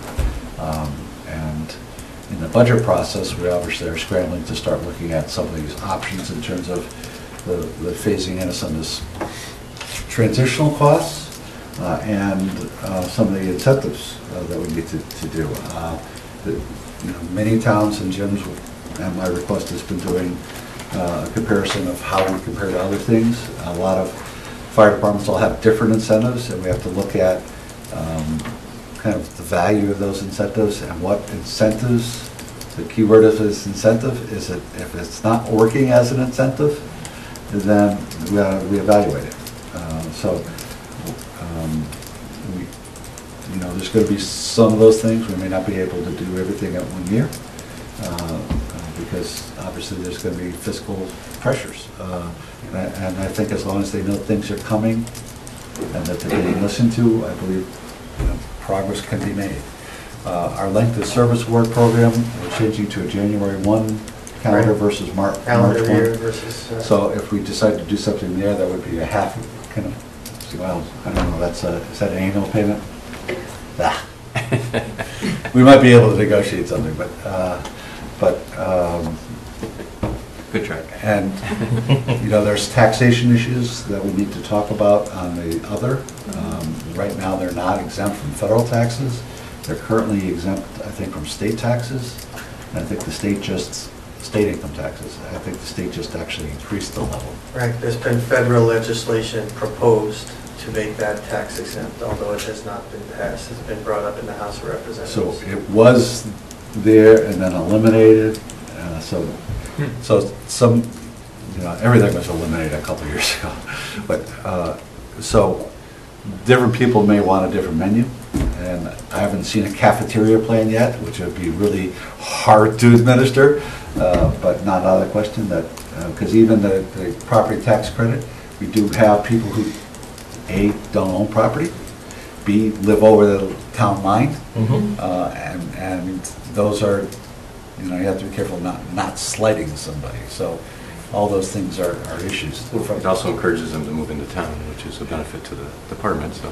It brings up the affordable housing question. Do you happen to know It's what all- the uh, legislation is titled or the number is in the House right now? It's an HR bill, I don't have the number. was, Isn't it uh, Larson? Yeah. Could, could I ask you guys to um, look at the recommended um, expenditures? No, no, you don't have to look at it right now. Look, be- mm-hmm. soon, so that you could, if we were to incorporate pieces of that mm-hmm. in our budget, well, we would know what your highest priorities would be. Sure. That would be, that would be great. Good idea. Okay, no other questions or Because we may not be able to do it all, discussions? but we'll try. All those in favor of approving the motion on the floor, please signify by saying aye. Aye. Aye. Opposed or abstained? Motion passes. Thank you. Sorry we kept you late. Yeah. Got to you late. Appreciate your time. All right, next on our agenda is acceptance of minutes. Oh. Beginning- Move to not accept the minutes? Our No. December Well, 23rd ones. And last time we had approved at least pages one through five, and then we jumped back in and we approved some pieces of the tolls, the no tolls resolution. So if you start, I So there's still believe. changes on one through five that need to be made. More? I thought we, I I thought think we we voted on uh, Well, there's some that I thought we actually changed, but they're not in, the- they're not in what I got. Maybe you guys have a different. They're in the minutes of, of that, of the last Oh, meeting. oh, I see, so they still appear to be the same, I see. They Okay. are, they're in the minutes of the minutes. I thought they would have been. Now they'll be in the minutes of the minutes of the minutes. Yeah, third time. All right, so does somebody have something to begin with on page six? I have one. Go ahead. Well, the ZOE, ZOE needs to be changed, right? I thought we did that already. We didn't do that? It's marked. I I marked it, Okay. remember? And is the if changed to it, um, the environment, item six, fifth line up from the bottom? The last word? Little lots and if, these lots? Yeah. And it, I have it it should be, so it's just an it, that's it, that's it. It? It. Yeah. IT. And on that page, you also have Peter Huckins. What is that, HUC? Yes. There aren't very many, thank goodness. I had a couple. Go ahead, Lisa. Uh, Page six, the third paragraph, third sentence. um, The acronym CDBG should be inserted after the word the, so it's clear which grant is due and equal. Oh, C, what is that, C? C- CDBG. CDBG, Community Development Block Grant, correct? correct. What is that? Page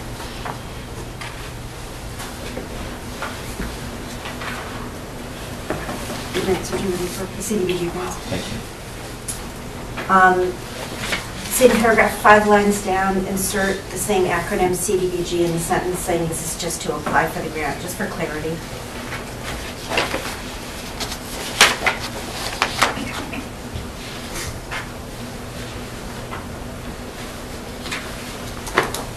And then um, that- the last paragraph on that page, uh, it's under public safety. Uh, The second sentence is mi- um, missing the attribution as to who made that statement.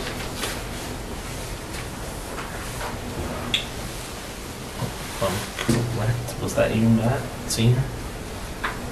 The first line, first The sentence? second sentence, the BOE chose not to. Terms of council and folks on the building security. I don't, I don't recognize that. And then you're, you're speaking next, right? Ann said that it is preconceived notion of using research officer. Yeah.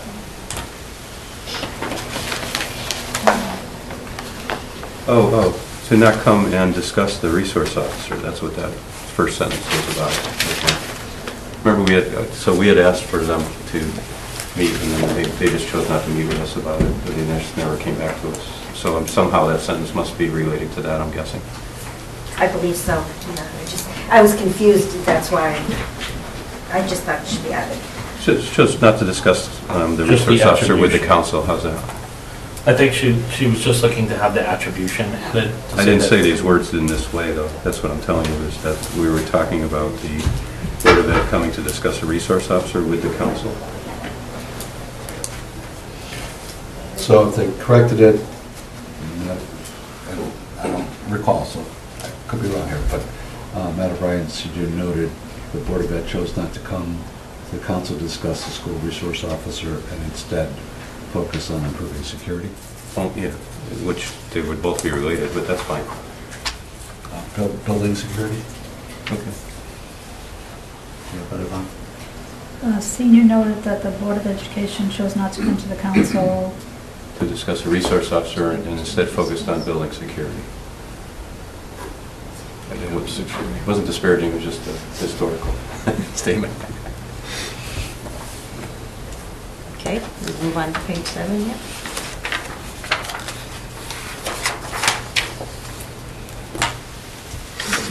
So there are corrections noted in pencil Right. already that you're deeming acceptable. Move from there. Oh, right, the, the ones that are in red, but for many of you. Oh, you Right. print it in red. Yep. Yeah, but they didn't print in red. yeah. You Is have, there anything additional? well, you have a question mark next to one of the cor- corrections you made. We, um, item 10, no one else voted, so the motion passed, question mark. Is Yeah. it not clear that that passed? Well, it's not really clear if Jim McLaughlin Right. made a motion and he was the only person. who Right, made so the did he already motion. leave? I think that- But that was, it was actually accurate, but we, I think there was a Yeah. question as to whether it was Yeah, accurate. No one voted against, maybe. Right, so it was one to nothing and it passed? Yeah. Yeah, because that was a. One, one in favor? We understood it, but that was. Shall we um, change No that? one else No, no, voted. it stays the same. Literally. Just Right, don't no put one else my- voted, it was Just fine. don't put my question mark in there, I don't think. Yeah, take, just take the question mark out. That's all it was. Yeah. So you fit an ED there? So you're not This one down changing here? that at all? We already did those? Oh, okay. Correct, yes. Yeah, the changes and no changes, the change to the corrections in red pen, Okay, so. In the hopes of expediting things. I have one second paragraph under governmental transparency. Uh, The last full line across there, it starts with the word misunderstanding. Mhm. I think it should just be plural. How last- Misunderstandings. I'm sorry, under the second paragraph, under Oh, governmental okay. transparency, and, I'm sorry, just above the bullets, I'm Okay. sorry. Misunderstandings. Yeah, plural. I think that's it. And then, um, I had one on, oh, did you finish? I'm sorry. Oh, go ahead. Um, uh, uh, Page seven, the fourth paragraph, um, which is item 10, the third line in the sentence beginning, he moved to talk about who he is, should be specified. Jim McLaughlin attended the fire, admi- the fire attended the meeting, he moved, so it's speaking of Jim McLaughlin. I think that would clarify that whole thing. No, it says it right, sentence right before, I mean, is that He not? moved to talk about. He was just saying the sentence before. That's Makes it related, implied yeah, that Jim McLaughlin's McLaughlin, the referenced. fire administrator, attended a regional meeting, so Jim. What if we Just turn say it Jim. to It I read it Just say also- Jim. it could Just say also he's a mean Jim. John. Yep. Yeah, why don't, why don't we just take So, he and put Jim? Jim. Jim, Perfect. that's fine. Um, And then the final paragraph on that same page, um, After the I- bullets? 12, Yeah. uh, which is in eight lines up from the, bullet- bullet- from the bottom in the sentence um, that starts with Conant hopes. Um, I just uh, wanted to note that there's some information there that's, um, I I thought was relevant, that's uh, missing from my remarks. Um, I had noted that the school readiness grant had been funded for more than 20 years by the state. Um, And also, um, I, there's an attribution to the sentence immediately following that one, starting uh, with market rates that's missing.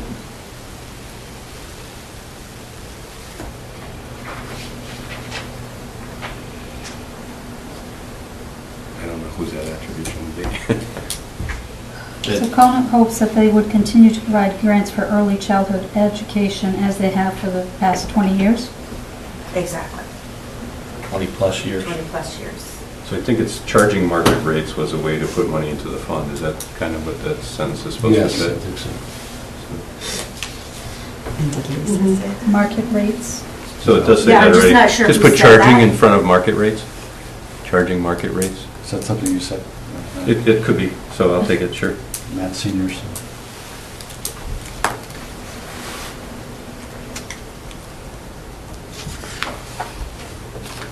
Charging market rates was written. It's the way of building up the funding. I don't know whichever is appropriate. but- Charging market rates or changing? Charging. Charging. Charging, okay. So they're t- It's, the discussion is charging tuition to people for the preschool for regular education mm-hmm. students. I want to say market rate tuition? Yeah, that would be helpful to clarify.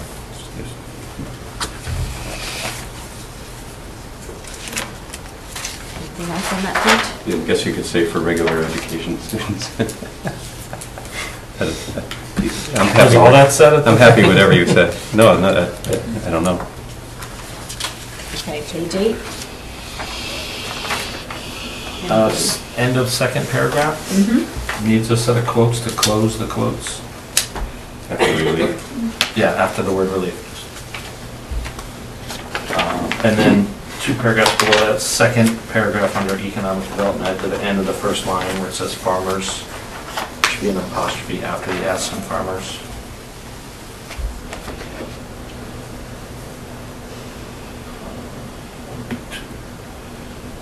What's Lippert Trap? What was the change? to Lip that? trap. I'm not sure. Oh, it's L I P T T R A P. LIPT? Mhm. Two Ts? No, no. No, okay, so just take out the P-E-R. Correct. Um, in that same paragraph, the last full line, just change R to is. I think that's a little easier. Three-tiered home occupation regulations, which, which is cutting edge. I think, Oh, Julie, yeah, you had get done that. that, right? That's fine. I think- Oh, Yeah. okay. You're reading hers, like just something happened last time. It happens, I Something get it. red there. Um, What was that one? that- I didn't, It's already done. It's already oh, on. okay. Mine aren't, don't show up in red, so sometimes it doesn't look like they're anything there. So I have in the second paragraph under economic development again, um, in the one, two, three, fourth line down, that line starts village partnership program that I think is just be plural for means. Or It just says mean right now, mean providing training programs. Okay. Um, Remember, I changed it. What's that? I must have done it after I did it, because it's written in mine too. Got it. Well, if I'm stealing one of yours, I apologize. No, apologize. not at all. Well, do you want to Uh, cross out the word mean, the second mean? That provides training programs? Uh, never- never. How, however you fix it, I'm fine with. Just adding the letter S gets it done, but, Means, okay, add the S. um, so two lines below that, two lines below that, and this is like a substantive, not, non-grammar type thing here. It says Eric Trott chairs that committee and businesses pay nine hundred and fifty dollars each year to be part of the Main Street group. No. I just, right, exactly, I don't, uh, it's, that's not how that works, right? Can you reword that The to council accurately provides, the describe it? council provides $950, doesn't it, John? Isn't it? Yeah, I'm not so sure it's nine fifty, but it's in that neighborhood. I thought that's what was said, I mean. It's not each business, is it? Right. No, no, It's it's the group, right? it's So town- that it's a town it fund. awkwardly. I think the It town sounds funds like it, they no, it's each the have town to do it. funding, the town funds that money, whatever it is. Right. Right. They're not putting in. Right, no, so the, Does there need to be an exact dollar figure, or could it say something along the lines of About Eric Trott Tra- chairs that committee and the town pays each year to be part of the Main Street group? that would do it. Yep.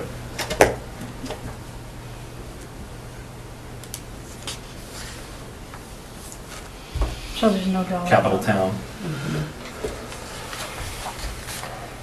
Um, Yeah, that's the question. Yes, yes, I've got this page, I've got. Um, I just had one on that um, page in the second paragraph, that third sentence that says, um, Elsesser mentioned that town hall has a saying in that we try to find a way to be yes, but if that can't be found, the answer is a no. I- I- Could we just clean that up a Just little? take out the B. And just, To get to yes. to get to yes, thank you.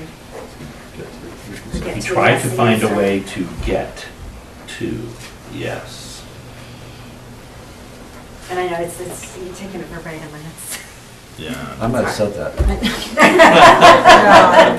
I think you did, actually. but- Sounds like you. Page nine, are we ready to, Yeah. it actually looked pretty good to Lisa, me. but- see this one over here, it says opposing, should that be opposes? That's the think one it's- I was going for. Hold on. I think it's your statement, so. I don't know, I'm not We're still on page eight. No, No, it's nine. nine, No, uh, page the nine. tenth line down or so on the four, far five, right, six, the word seven, eight. opposing. Three, Ninth six, line down. Nine. One, two, three, Says four, a- five, oh. six, seven, eight, Yeah, nine. that's. Last- Therefore Balance opposes. projects significant operating deficits in the next three years. It therefore opposes Okay. using one and a half billion dollars of the budget reserve fund. Anything else on page nine, anybody else?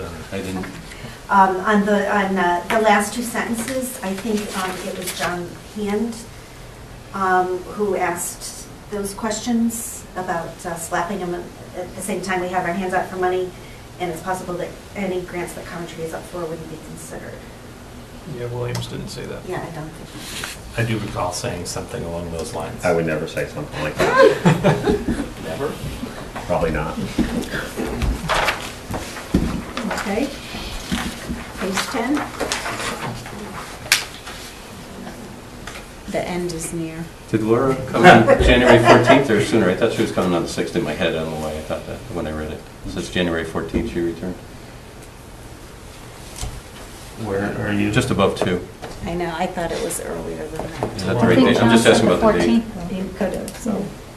And what's this one up here, tax Was she something? gone that long ago? It it should be, the word I think it bag was should be plastic inserted. bag or The word plastic DAG. Oh, well, the 14th is well after the holiday. It would have been on Monday after. Isn't it bag tax? Right, that's Yeah. not, that's what we were just saying, you know. Yeah, it's not the tax Tax bag. bag. Oh, So move to approve as amended. whoa, whoa, whoa, I've got a couple. Do we- I've still got a couple, Still got more? just a couple. Might be back to sixth. Yeah, that's what I'm thinking. I thought it was the 6th. If I said it, I said it, so. Okay, John Hand, go. Um, yes, in that, let's see, one, two, three, four, fifth paragraph, that's the first big paragraph, top of the page. In the one, two, three, four, five, sixth line down, at the end of the line, it says, Hand stated that there was some grants that missed out on. I think I said that Hand stated that, that there was some grant, singular, so cross out the S, that, and then add the word we missed out on.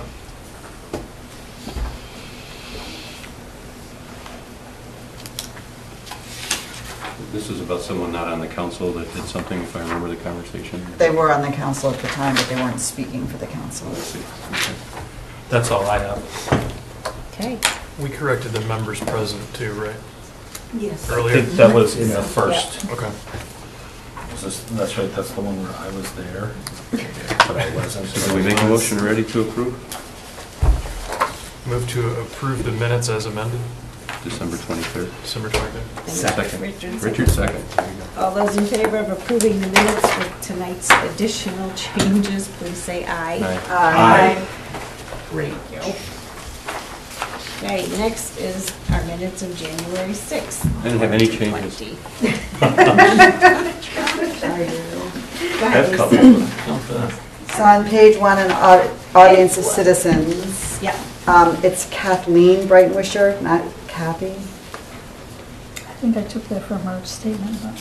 Mm, I don't think she's ever referred to herself as Kathy. No. I always hear her refer to herself as Kathleen. John, did you want to mention the other thing? Yes, I would like to, I would like to mention that in those, in the um, paragraphs about Kathleen Breitenwisher, Carolyn Arabolis, and Emma Eaton, each of their, each of those end with a statement that says her statement, which is included as an attachment to these minutes. I cannot find those attachments in these minutes at all. I checked and double checked and triple checked, they're not part of this. I scanned them and sent them. Yeah, So I don't, I don't know where that. They're actually on file in the town clerk's office. They were sent us as separate files, so I guess they weren't copied. with the agenda. She sent she sent them.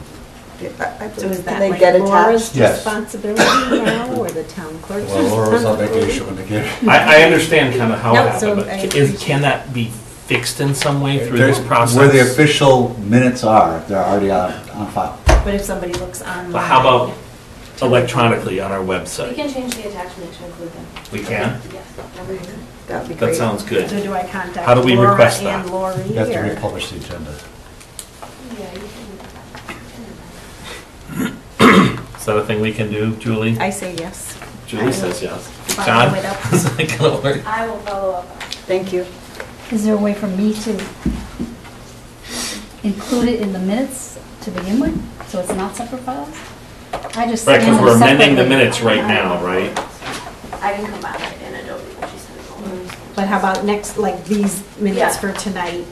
Yep, we'll review those and then going forward, we'll make sure. I was just trying to get them filed.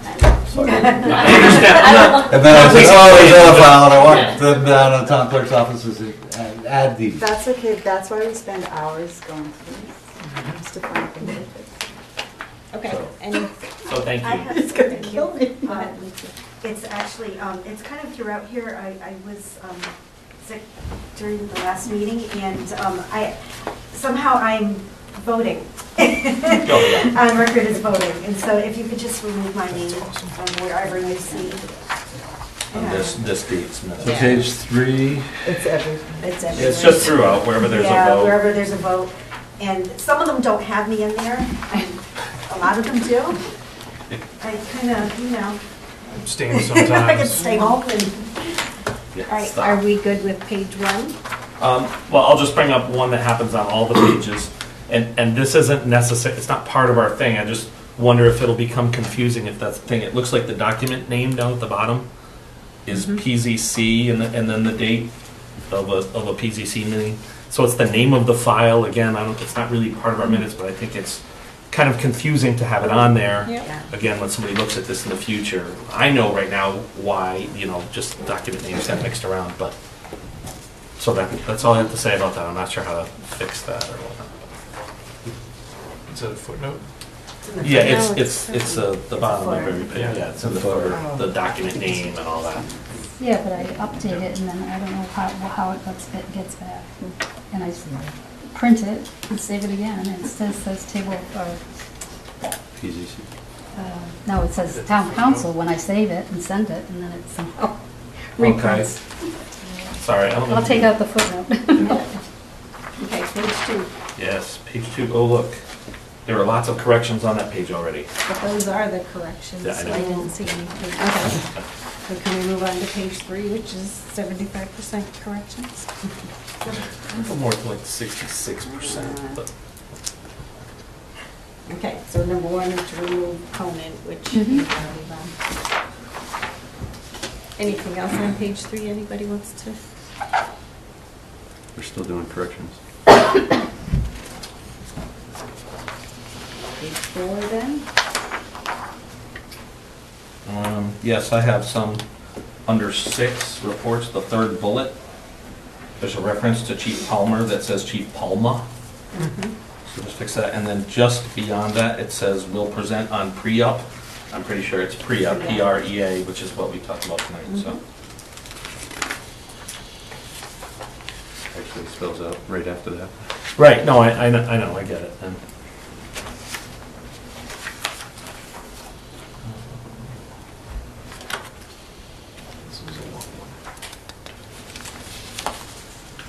Anything on page five? You have two comments. Three. Three. Three. Heard that. There's nothing. one. Just kidding. Um, I, I have a question, and I guess now would be the time to do it. Under the second bullet there, under six B, in the second sentence, it says, about a comment in the January second, twenty twenty Journal Inquirer article about the opposition parties being at odds. That's what she said. Uh, Thomas commented on that. Is that, I'm just basically asking you, Lisa, are those, is that a verbatim, like, is that a, I I Um, thought it was a little more nuanced than that. that So it what I doesn't- was talking about was that um, the article referenced uh, comments, uh, the letter that was published on the RTC website, and in it, Matt Senior had stated that um, our platforms are vastly at odds. And I was saying that that felt very um, hyper-partisan and divisive, and that's not what we were seeing at the table. That publicly at the table, we were seeing that we were working together, and I hope that that was where we were going, the direction we were going, as opposed to Right, so there's. a what was li- published on that site. There's a little nuance there with what it says here and what you just said. I think it's, what you just said does match my recollection. But her next two sentences bring it around, so. uh, So it has to do with the, the platforms of the parties. I think you probably do that, Okay. Party platforms are not, right? I, I don't know, I mean, that doesn't, that, That's I wasn't saying that they're not at odds, I was saying that that statement felt Right, but it was about the- hyper-partisan and, and that, that didn't reflect what was happening in public at the table. Right, but it was about the platforms themselves and not the parties, like, Um, I don't know. uh, I guess I, platforms are Whatever. but we can, It's we can say the statement. I platforms. just- I, I, When I read it, I had a question. I don't know if I used the word platforms, but I, my concern was over the comment about being vastly at odds. Mhm. That that was on, on the website, but that what was happening in public was not reflecting that, and that I Uh, How about hoped we would instead of continue in the that opposition direction. parties, the two parties? Uh, so Sure. Journal Or the Inquirer two-party article, the- platforms. I mean, it The is- two parties being at odds. Or the two-party platforms being at odds. I think, that- I mean, Matt, you wrote the thing. I mean, what I was, I the essence of what I was trying to say is that that, that, that, that was a very partisan statement. It is not what we are seeing at the table, what we are seeing publicly, so I hope that what we are seeing publicly is truly where we're going, as opposed to Thank you. what was being reported, which is, the reporting was accurate, because that's what the letter said. About the two-party platforms being at odds. That's what The bottom line is, I was saying that that was a very hyper-partisan comment that was made in Matt's senior's statement. And that I hope that that was not the direction we were going, because, right, the statement on the Republican Town Committee website, and that I hope that was not the direction we would end up going. This is. Right now, we've this been working is well together. referencing a Journal Inquirer article. Right, which Which took us back internally to. references the other thing, I think, right? Right. Getting into a lot of detail here. Okay. The bottom line was, uh, really, is what I've been saying, is that the, the, s- the statement was partisan in saying that we are vastly at odds with one another. Publicly at the table, we have been working together, and I hope that that's how it continues. And I agreed. That is what I was saying. Thank you. Thank you for bringing it up, because you're right, it wasn't quite captured in that. In those minutes So- So JR article about the plat, the statement was partisan and. I think she said hyper-partisan, no, something? Uh, So I actually went back to review the video. Um, So what I said was that Matt had posted a message on the RT webs, RTC website stating that the Democrats' platform is vastly different, basically, from the Republican platform. And I was saying that we have started off in a very collaborative manner, at least what I have seen at the table, and that I was worried that such comments would undermine the collaborative work that we're doing, because it feels hyper-partisan. That we have good work going on publicly.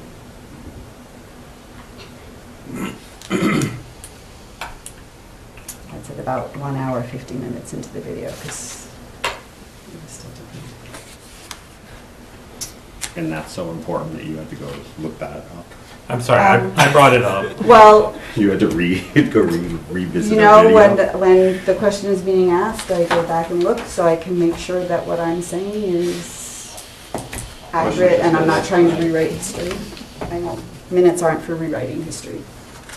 Okay, are we good with page five? Could add junior to my name under 6D.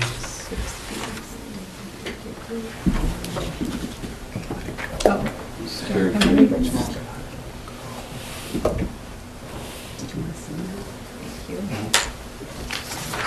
Thank you. And three comments. Oh, yeah, you're on. Yep. Yep, You're there. Okay, page six. Just some components to Yeah. remove for, Five. It's like a superpower. Page seven.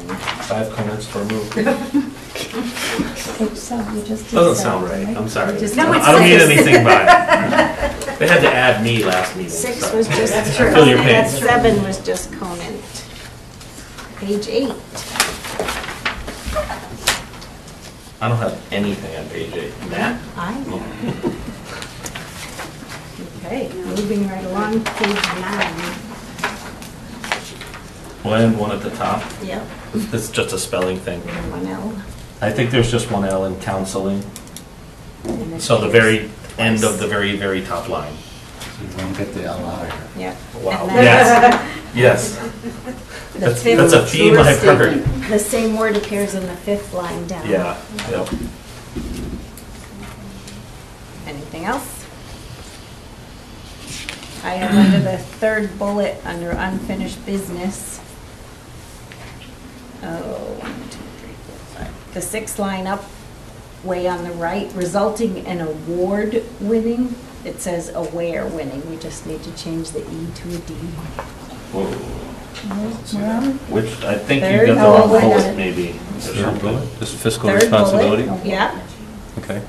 One, Third bullet two, down? three, four, five, six line down. Oh, you said up from the Yeah, you bottom. said up on the bottom before. Two, three, For four, the bottom five, six six. paragraph, third one. Got it. Aware should be awarded. Anything else on that page? Well, if you're gonna fix award and then winning, should you hyphenate it with winning? No. Award winning? No. Underline. Page ten. Hey. Do you want, I'm gonna start quoting the example. Go back to being Why in commas comments. matter, yes. I think of you, I see plenty of Facebook posts, and there are plenty of people explaining why commas matter. See, there you go. I'll, I'll put Print some name out, on- and bring them in for next time. Pass them around. Okay, page ten? I have one under eight of the second line of the paragraph, not the title.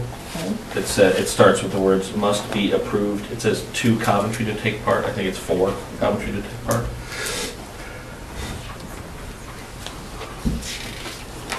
And on the bottom, if Yep. I'm, Go ahead.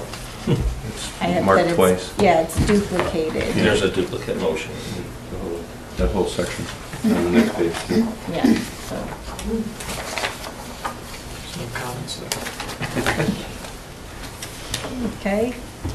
Lisa, you weren't there for any of those. Page On- eleven, or, Under the first line, under where it says no toll resolution discussion, Mhm. it says Thomas issue was to use over a, a one billion dollars of the fund. I think it was not the to use. use. No, it was not to use, right? Right, well, uh, Thomas- Yeah. Or was it their My- proposal? There's to lots of use? ways to reword it to get her Their meeting. proposal to use, maybe? I think it was Thomas issue was the use of Let's let Thomas over tell billion dollars of the fund. go ahead, Lisa. Was it really a dollar amount like that? Yes. I thought we were working at percentages. No, no, no, that was in the resolution. Thomas's, I think it should be Thomas's concern was the proposed use of over a billion dollars of the fund as proposed by the Republican legislators. That was the conversation, that that was not, that I didn't feel that that was a wise State, way to solve the problem. So did did you say over a billion, or it's 1.5 billion actually, so? I- If you want the exact amount, I I said thought over a that's what you billion. used, I thought that's how I recalled you saying. 1.5 billion is fine. One. Precise is fine. Pretty review. No, because, That's not- no, because we had, an- we had further It's feeling discussion. evil. and you- In, in the amendment I I, I proposed, I, I said specifically 1.5 billion, whether I said 1.5 billion when we were chatting, or I said. Or over 1 billion. This is not the amendment that I, Okay. So, Maybe I'm confusing the timing. I, I think it means the same thing either way. Okay, anything else on page 11? Just to be clear, though, it should be the state Republican officials. Uh, yeah.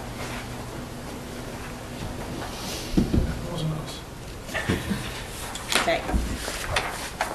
Page 12. Comment. Yep, comment twice, I have at least. Keeps coming back. And page 13, I have comment twice. Leave, come back. You've been waiting for a Oh, wait, wait, we have to go back to page 11, I'm sorry. That's all right, go ahead. Um, Still under the no toll resolution discussion, Thomas wondered, this is the third line, Thomas wondered what the citations are for some of the numbers included. She does not think we should have Right. vague language.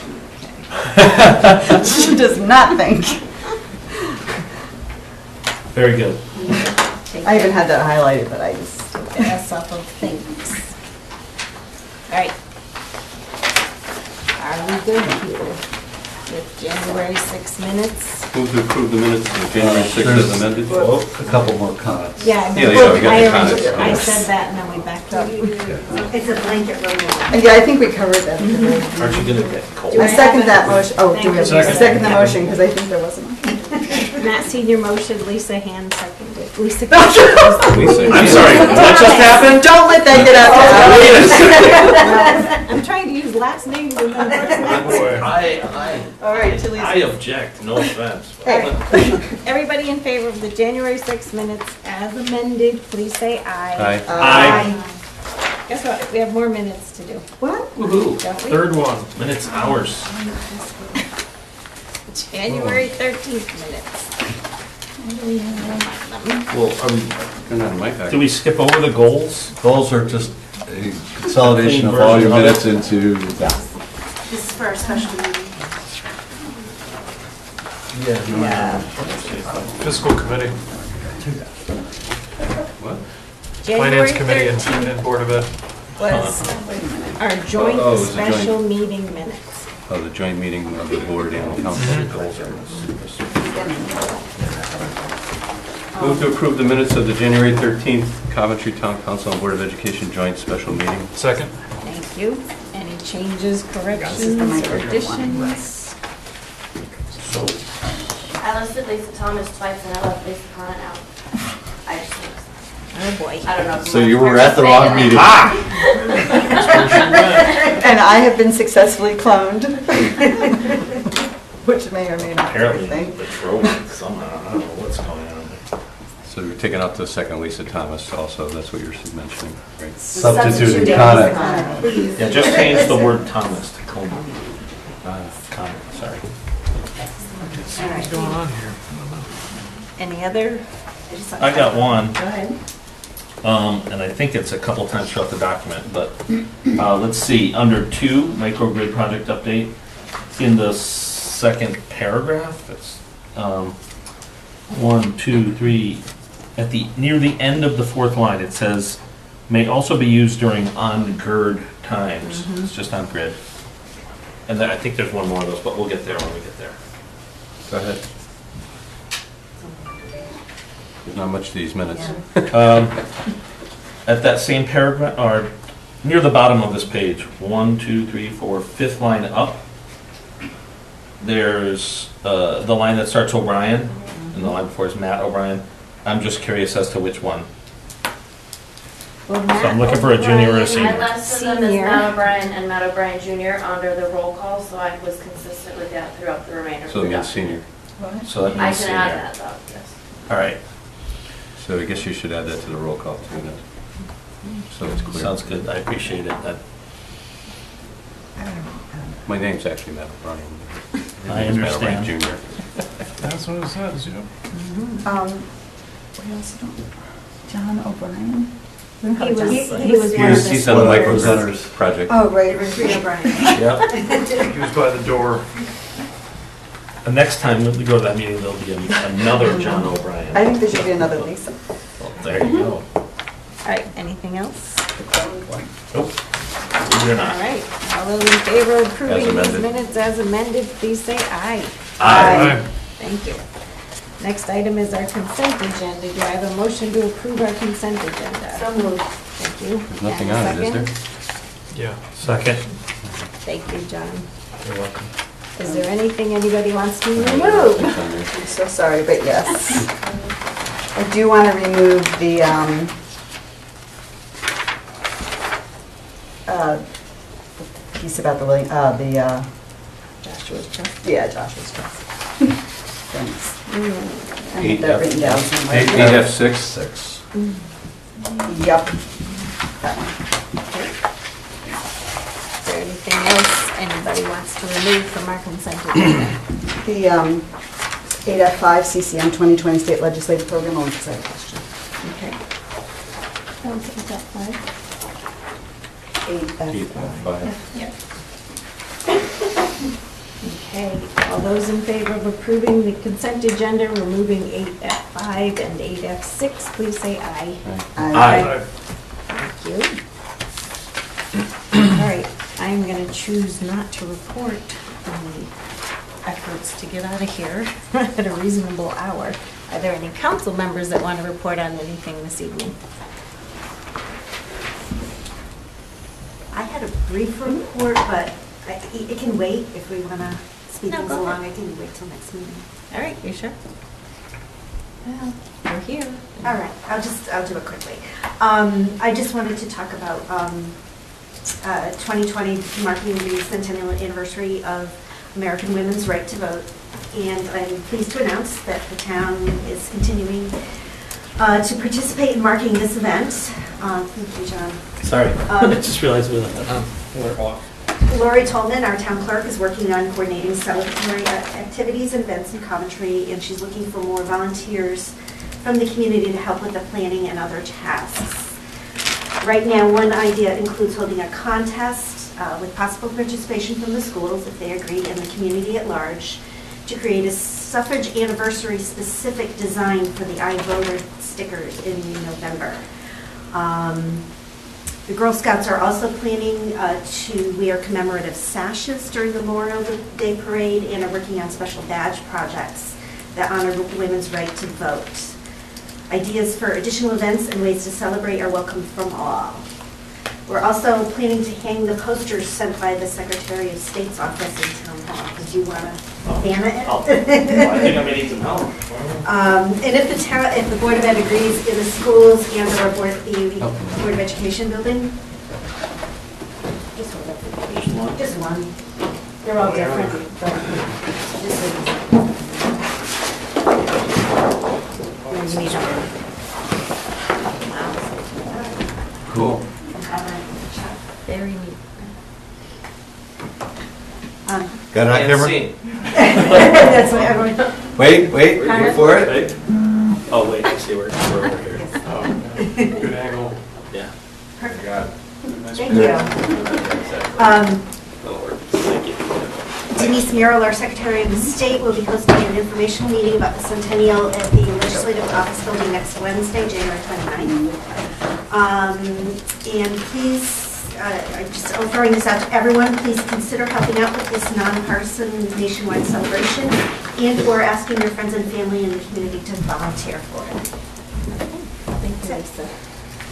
Thank you, John and Matt. Any other council members wish to report on anything? Okay, moving on. 8C, Finance Committee, Matt O'Brien, Senior. So we held a joint finance committee meeting with the board on January 13 to receive the audit. Leslie Zoll, partner from Blum Shapiro, reported that Coventry received a clean audit opinion for our financial statements, the fi- the federal single audit report, and the state single audit report. Leslie Zoll reported favorable budget variances for both revenues and expenditures in fiscal year 2019. She noted a recommendation to review the segregation of duties as it pertains to cash receipts in the building department, but that no issues had been identified in connection with their testing. Leslie said that John and Amanda were pleasant to work with, as is the Board of Ed staff. Uh, A Question was raised about the cancellation of end-of-the-year encumbrances, and Amanda said that approximately $12,000 of the canceled encumbrances were the towns, with the remaining 46,000 coming from the Board of Education. Then we went through several of the Board of Education's monthly reports with Bob Carroll providing information about each and answering questions of any of the members of the committee. This was very helpful and informative, we thought. We discussed a number of current building projects to get an update on their status. These included the auditorium wall project and the potential need to reinforce it due to insufficient rebar, the security grant that was received last year in the fourth round of security grants, which has provided window film for the K through 5 schools, bollards for outside of both schools, and some new locks, doors, and cameras, and the Coventry Grammar School parking lot project. Amanda Backhouse distributed a spreadsheet showing the financial status of the School Building Energy Efficiency Committee. Amanda reported that the state has finally agreed that the fire door was a code violation, and we're waiting to hear back about our state grant application. We will go out to bid once that happens. Uh, Then, next, we discussed the CGS CG CHR roofs. John Elsesser reported that the roof on the complex is now 22 years old and is starting to actually have leaks. This is also true of the ro- roof at Robertson School. John said it's time to start preparing a plan to deal with this issue. He thinks we need to get the design work done this summer if we can. Uh, Next, we discussed a number of IT issues related to data backup and recovery. Got errors on here. Cybersecurity and WAN rack fiber install at CGS CH, CH, GHR, excuse me. After concluding the joint meeting, then we held our regular Finance Committee meeting. Uh, Amanda Backhouse reviewed her report, and our current tax collections are up slightly over last year. Both the town and Board of Ed are on track for their expenditures. Cobra and sewer use collections are both up from last year. We discussed the drastic current year change in the Cobra balance and wanted to clarify that it was due to the changes in our recycling contract. Rather than receiving payment for recycling, we're now paying to have it collected. Amanda had done an analysis of the impacts of our new waste and, waste and recycling pickup contract renewal and reported that she is projecting that next year Cobra expenses will exceed our anticipated revenue by almost $50,000. She suggested that the council consider an increase in annual, the annual household charge of up to $10 and/or changes in service during our budget deliberations this year. Our committee unanimously recommended that the town council accept the audit, and I recommend that you read the minutes for more detailed information and let us know if you have any questions. There's a lot of stuff in there, I didn't want to go through it all tonight. Technically recommend to the council the acceptance of the audit. Yeah, that's probably what I meant. Actually, I said that the town council accept the audit. I- Oh, thank you. That's what I read, so. I'm hearing. Yeah, there you go. Anybody have any questions of Matt's report?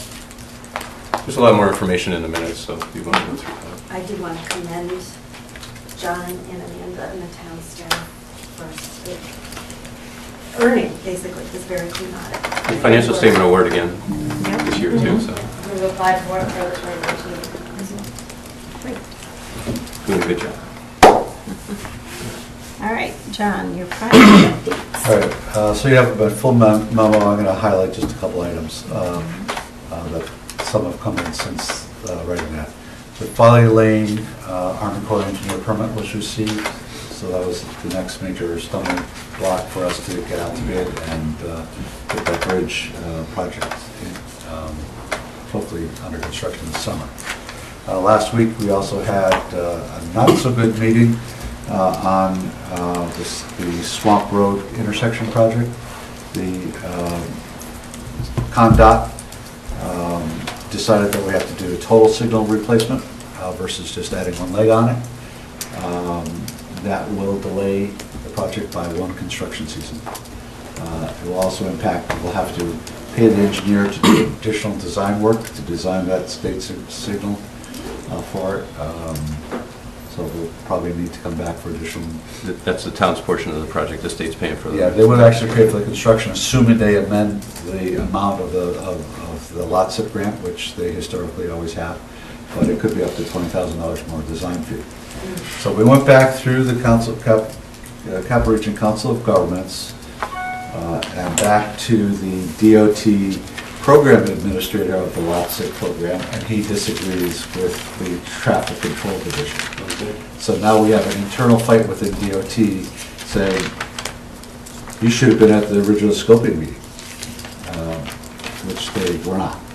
Um, So I don't know where we're going to end up, but I'm concerned that at the end of the day, they'll decide that having this grant paid for at full new four-way intersection is going to be better than uh, trying to add on. So uh, I just want to prepare that at, at this point, I'm not very comfortable that we're gonna have construction this summer.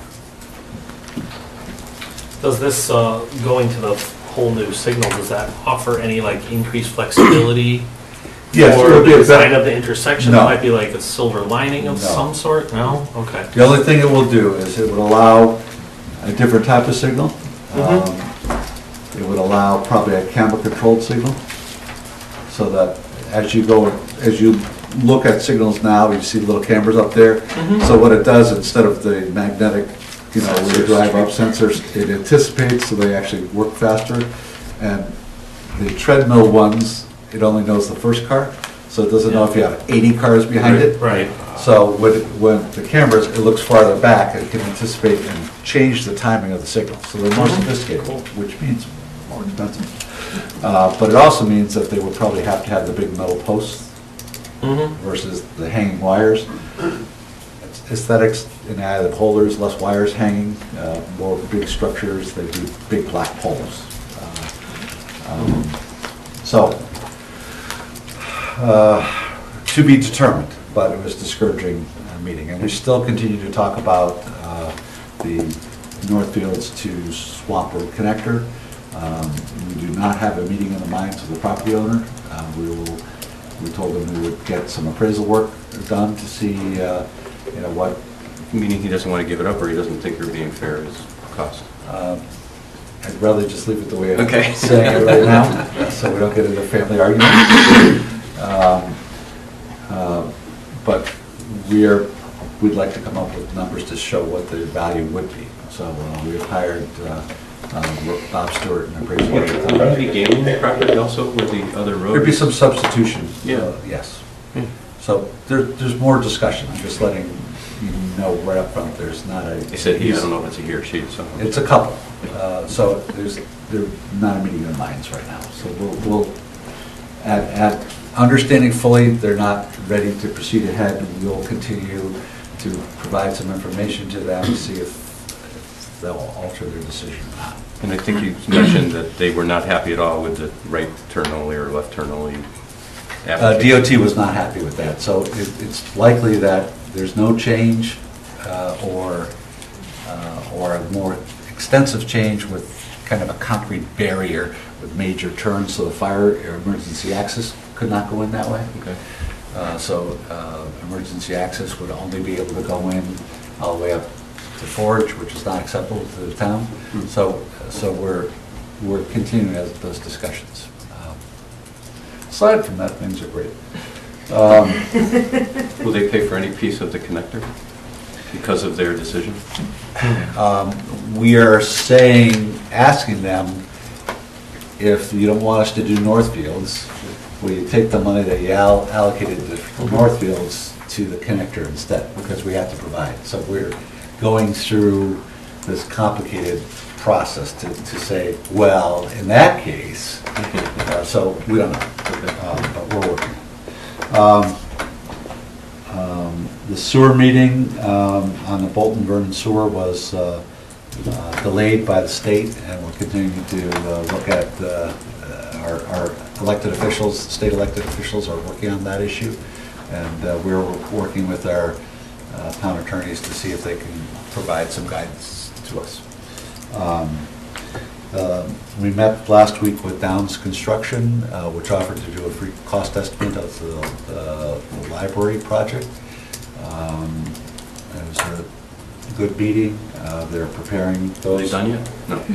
They're preparing those numbers. Uh, uh, They understand fully that uh, any project, if, if a project goes forward, they, you know, they don't have it inside, uh, it would have to be a bid, so they're doing this at, at full risk. Uh, Our architect forwarded the files to help them uh, with Hmm. that.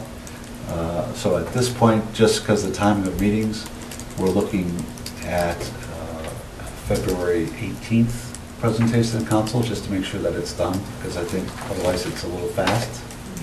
Um, So um, the the library building committee meets tomorrow, and they'll start gearing up to a- an 18th meeting to uh, um, you know, address the goals and give the the council goals and to address the, uh, um, their project.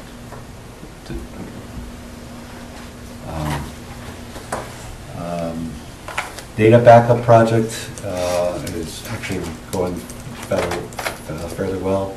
Uh, uh, School board has moved mostly over. We need to buy one other rack because when the service came, it didn't fit our rack, so. uh, um, So, uh, but things are transitioning well. Those things could be a disaster, but uh, the ba- backup system being installed in the police station for the school system and us, vice versa, is going well, uh, which is part of our response to our cybersecurity plan. Um,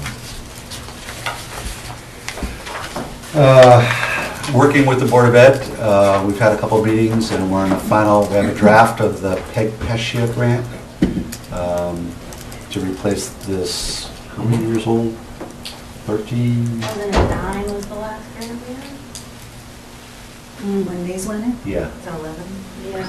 11-year-old. Mhm. Um, So there's a maximum grant uh, of 150,000. The equipment actually comes in about 204 for both the town and the Board of Education, where there's a provision within the grant that says uh, we could apply separately each for our component, but we're, we're putting in one combined grant because it says unless you have good reason to go exceed that, we're going to say, hey, really, we could have come for 300,000, we're asking for 204. Um, um, But we're one system. And it's more efficient for us to stay one system than we have the same equipment, replace the same time. But to let you know, Life of Service, the board that already had a a failure of one of their main pieces where they couldn't broadcast their meeting for a while, and they found the used parts, and some vendor found a used parts of one that was being thrown out somewhere, but they aren't making any parts. So uh, we are uh, mission critical uh, for the system.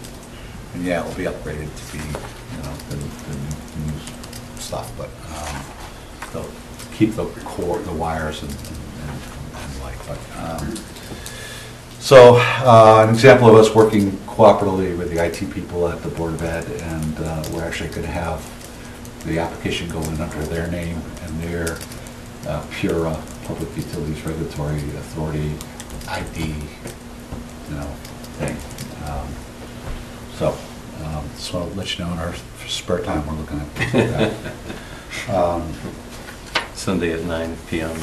So, uh, so Laura, you know, was working as the member of that, uh, the Coventry Vision Committee on that, and uh, we had a check with uh, Charter Spectrum, they endorsed the equipment that uh, our consultant, uh, HB uh, Equipment came up with, so. On track, highly competitive, grant hasn't occurred in about six, seven years, so there's a, uh, about $5 million, but uh, nobody knows who's going to come out would work for it.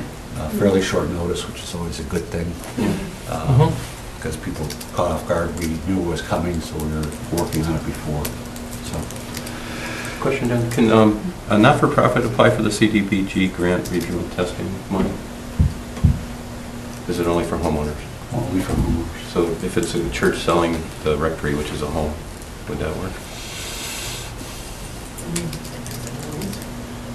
Church. Church, church itself. Yeah, um, don't know. It's an interesting question. I, I think the owner has to be A person? a person. Well, have them give it to me. We still are looking for one last low-income person, or we lose like three points at our future grant. Uh, We may have found one, we're trying to talk them into applying. People assume the, the income levels are pretty high. Uh, If you're retired and living in your home, that you probably qualify. So get it tested, because whenever you want to sell your house, it's going to have to be tested. Uh, So, but So this is a way that would help pay for that testing. this would pay 100% of the testing for the core test. Free is good, and we can't find anyone, uh, because people assume that low income means low income. It's like $54,000 a year. Charts on our newsletter that's available on our, on our website. Uh, We'll publish it one last time, but we're, I'm worried about those points. We gotta find somebody. And we have five towns. Have you posted anything about this on your town manager Facebook Yeah. page that we could share out? Yeah. Uh, We'll do it again. We have an e-blast coming out another week or two, uh, another week. Um, Right now, it's in the newsletter, it's going to the printers, but, you know, the clock is ticking. Uh, they- Those grants are due in April. Um, So, um, that's it it for projects, I'll move into microgrid real quickly. Um, You're finishing up the install on Friday of the monitoring equipment.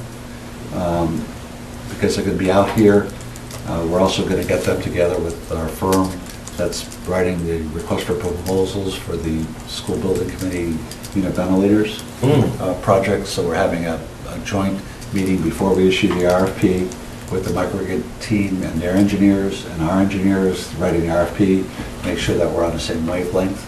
So a quick meeting this Friday, and then and then a couple weeks, uh, we'll be issuing that RFP. Timing-wise, it's kind of lining up to go fairly well uh, in terms of uh, getting the firm on board and some of the start of work uh, and the time schedule that you saw at the microgrid workshop.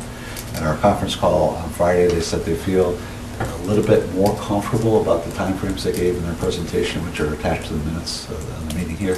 So at this point, um, they're feeling better, not, not, haven't found anything else that's cropping up. So um, uh, that's a microgrid uh, update. Uh, Oh, I'm- I forgot one other thing. Community Development Block Grant uh, public hearing is also scheduled for February 18th. Uh, uh, At that point, after that public hearing, you'll be asked to select a project. We are going along the assumption of of starting the paperwork for the Orchard Hills project, but officially, you need to hear the public and then um, make that decision after that. But you'll start seeing reams of policies and paperwork over the next couple of agendas that you have to approve us to through. Uh, This week, we actually have the RFPs for our consultant. Um, So, you know, we have to go through and make sure that the consultant is is who, you know, is the one preparing this grant. Uh, And we have to advertise for that. Um, So, that's where we are.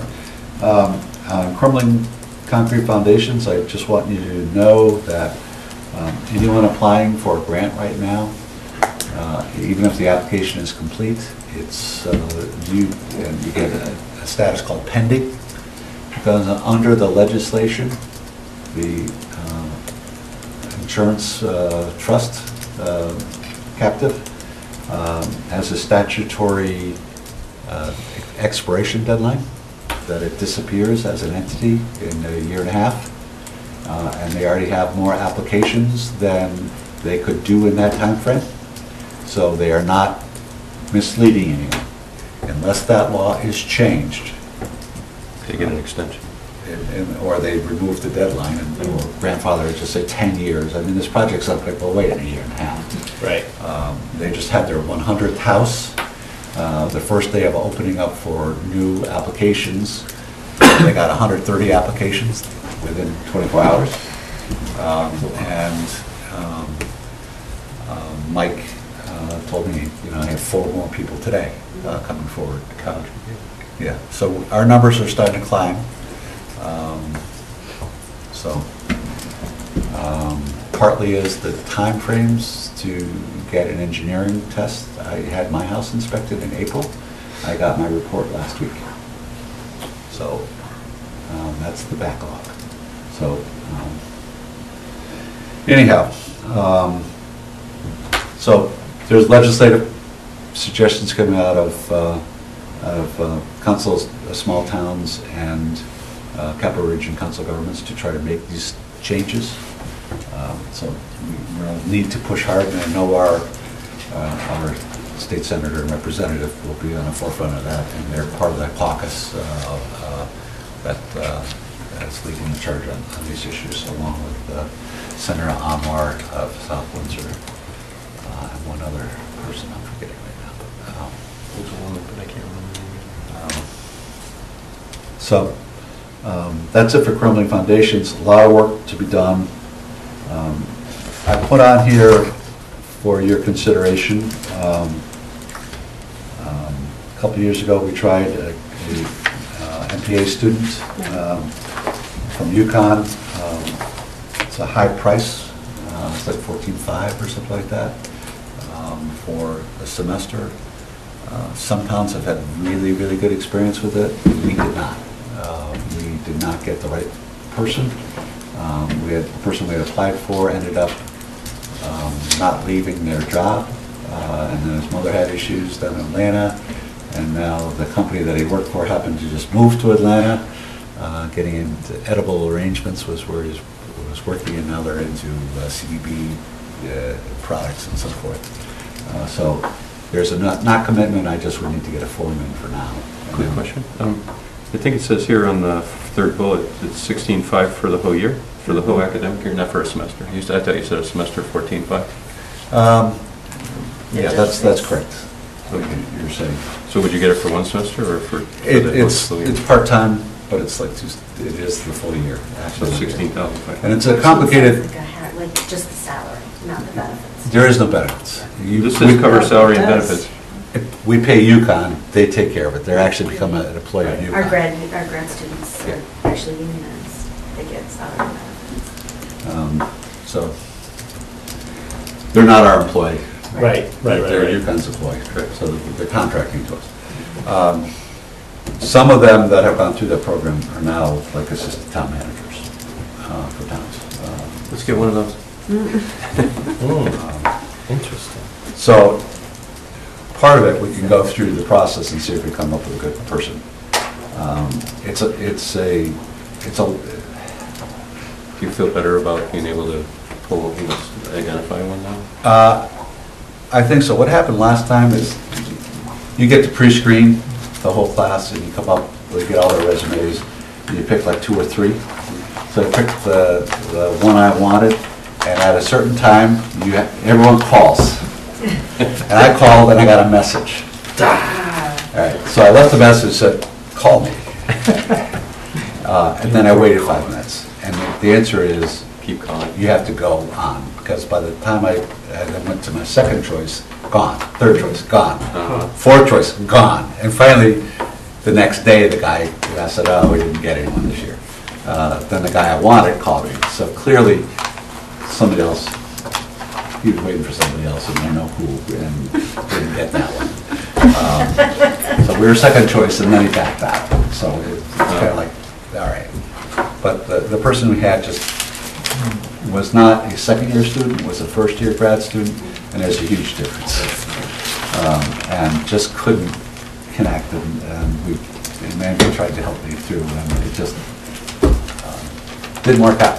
Um, What we thought were simple assignments just didn't, didn't help. So I, we waited, a- waited a couple years here, I think I'd like to try to, because again, everyone else seems to have great experience with it. Great, um, So I think we just didn't, and the person that started late and finished early, and it just, so if you'll allow me, you make the final decision when it comes down to budget, um, uh, budget time, so we can just withdraw. But if if you're okay, I'll put the application in, subject to understanding that it's just another budget, budget issue, it has to stand on its own when that comes around to it. Okay.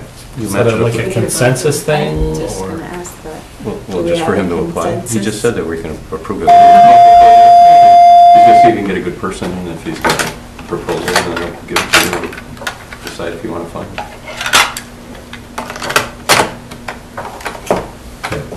Right?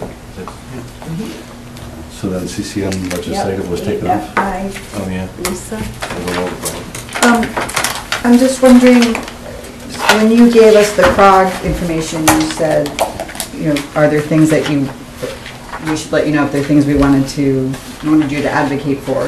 Is that the same with this? Yeah, and you'll get one for the Council of Small Towns too. I just had some final input to add things like um, sewer extensions. uh, Oh, that whole thing.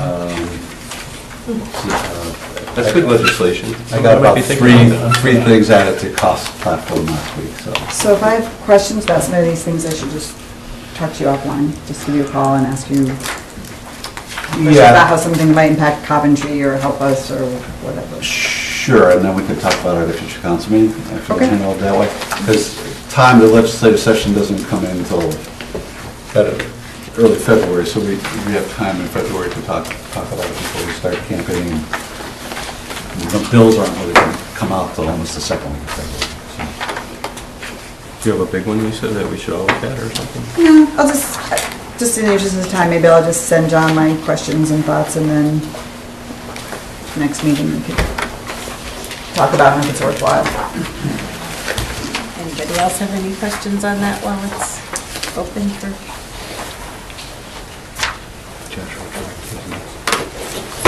Okay, next item is eight F six, the warranty deed grant to Joshua's Trust, the parcel at Flanders Road.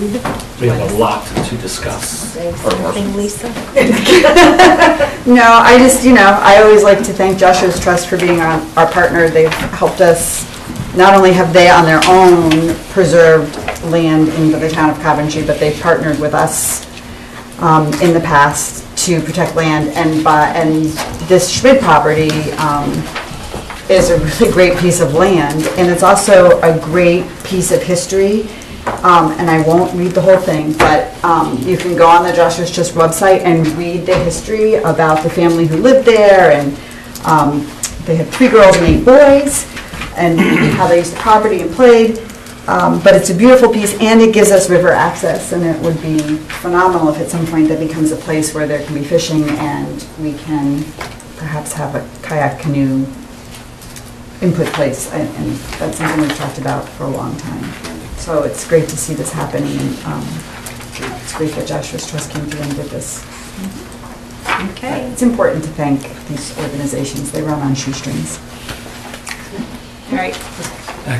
We're on to unfinished business, item 9A, 19 slash 20 dash 28, consideration and possible action, recommendation by town attorney to repeal ordinance Article 4, Section 38 dash 91 through Section 38 dash 96 due to changes in state law.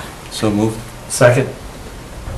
Any discussion? This is from our public hearing. We're going to repeal what we would have called the fracking ordinance or fracking waste ordinance. It's covered by state law. All those in favor, please say aye. Aye. Next item of unfinished business, 9B, 19 slash 20 dash 29, consideration possible action, recommendation by town attorney to consider a revision to section 70 88 of the town code entitled, quote, "Public Gathering," close quotes, to correct a typographical error. So moved. Second. Any discussion on that one? Should we just repeal it? I don't think it's actually something you could do Different tonight. meeting? You have to have a Yeah. different public hearing to do that, I think. All those in favor, please say aye. Aye. Aye. It's unanimous. We are down to new business, item 10D, 19 slash 20 dash 39, consideration and authorization for the town manager to execute a revised employment agreement with the director of finance. Is that in my packet? We emailed that out um, See on Friday.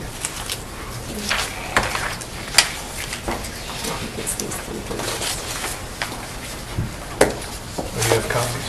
Just the one. Now, if you want to have an executive uh, session, you could do that first if you choose to. I'm sorry, I didn't hear what you said. Executive session. You could, you could just put this on the sidecar temporarily and and go into executive session and act afterwards if you wish. Okay, let's do that. Okay. I'm comfortable with So I'll. Do we need discussion? No. I read this about once before, so. Right. I'd like to go into executive session. Okay. Then we'll table that till we get to executive session. We're going to take it up during executive session? No, you can't. You That's can what talk I'm about saying. it. You can talk discuss about it Then we're gonna executive come session. out of executive session. To take an action, you have to be out of executive session. Right. So we don't, do we need, we're allowed to talk about it in executive session if we, but Yeah, does a so- specific motion need to be made, or will it Well, come under one of it's these One of the two that we have, I think, right? No. Yes. Yes. One's for real estate. Oh, so the other one could encompass mm-hmm. that. Mm-hmm. I got you. Okay. So for now, we'll move on to ten E, nineteen slash Excuse me. 20-40, the acceptance of the audit for the fiscal year 2018-19. I move that the town council, oh, go ahead, John. No, you go ahead. Accept the, accept the audit, yeah, that's right. Do I- Second. Thank you, John. Any further discussion besides thanking our staff for their wonderful work? I echo that right there. Keep it up. All right, all those in favor, please say aye. Aye. Aye. Next item, 10F, 19 slash 20 dash 41, consideration possible action, Board of Education request to use reserve fund for capital expenditures for CIP projects in amount of $98,500. Move to approve the Board of Education's request to use the reserve fund for capital expenditures for CIP projects in the amount of $98,500. Second. Thank you. John, do you have anything to say about this? No, these, these were in their um, capital improvement plan, so under our policy, they're basically... They don't actually have to ask us if it's in their capital. Yeah, plan, right? wording is not as clear as we'd like, so it doesn't hurt. That- I absolutely agree with you, that's our, our understanding, but they they would prefer to make sure that we don't get into an issue, because when you read it carefully, Just for the public, it's for uh, CHS cafeteria reconfiguration project, the air conditioner for the LGI and lecture hall, and the Walter filtration, water filtration project, correct? Yes. Uh, So the cafeteria um, is tied in with the asbestos removal, which is part of the bonding, so they'll remove the tiles as part of the bonding project. Uh, And then they need to move uh, a wall, which they're covering the cost of that, to give a little bit more space uh, for... Are they relocating equipment to? Uh, I think it's the whole flow. Um, so- But they're hoping to get that done this summer. When they do something like this, do they actually get an estimate, or are they just estimate? Um, They've been working with design-build firms to get some of these estimates, uh, or engineers. Uh, Water filtration is kind of a specialized uh, issue for the well system. And then for the air conditioning unit, they say that they have a recent quote that's Great. allowing them to reduce their cost. I'd also like to note that all three of these were um, unanimously voted on and approved as requested by the Board of Education. Okay, Any further discussion? Do you have a running total, I'm going to vote yes, but do you have a running total on that account? I know it's 138,000. 230. All those in favor, please say aye. Aye. Aye. Aye. Uh, Next item is Mr. Habern's concerns regarding the registrar of voters. What number? Uh, Oh, I It's got it, 11A. We do not um, have oversight over the registrars, that's the Secretary of State.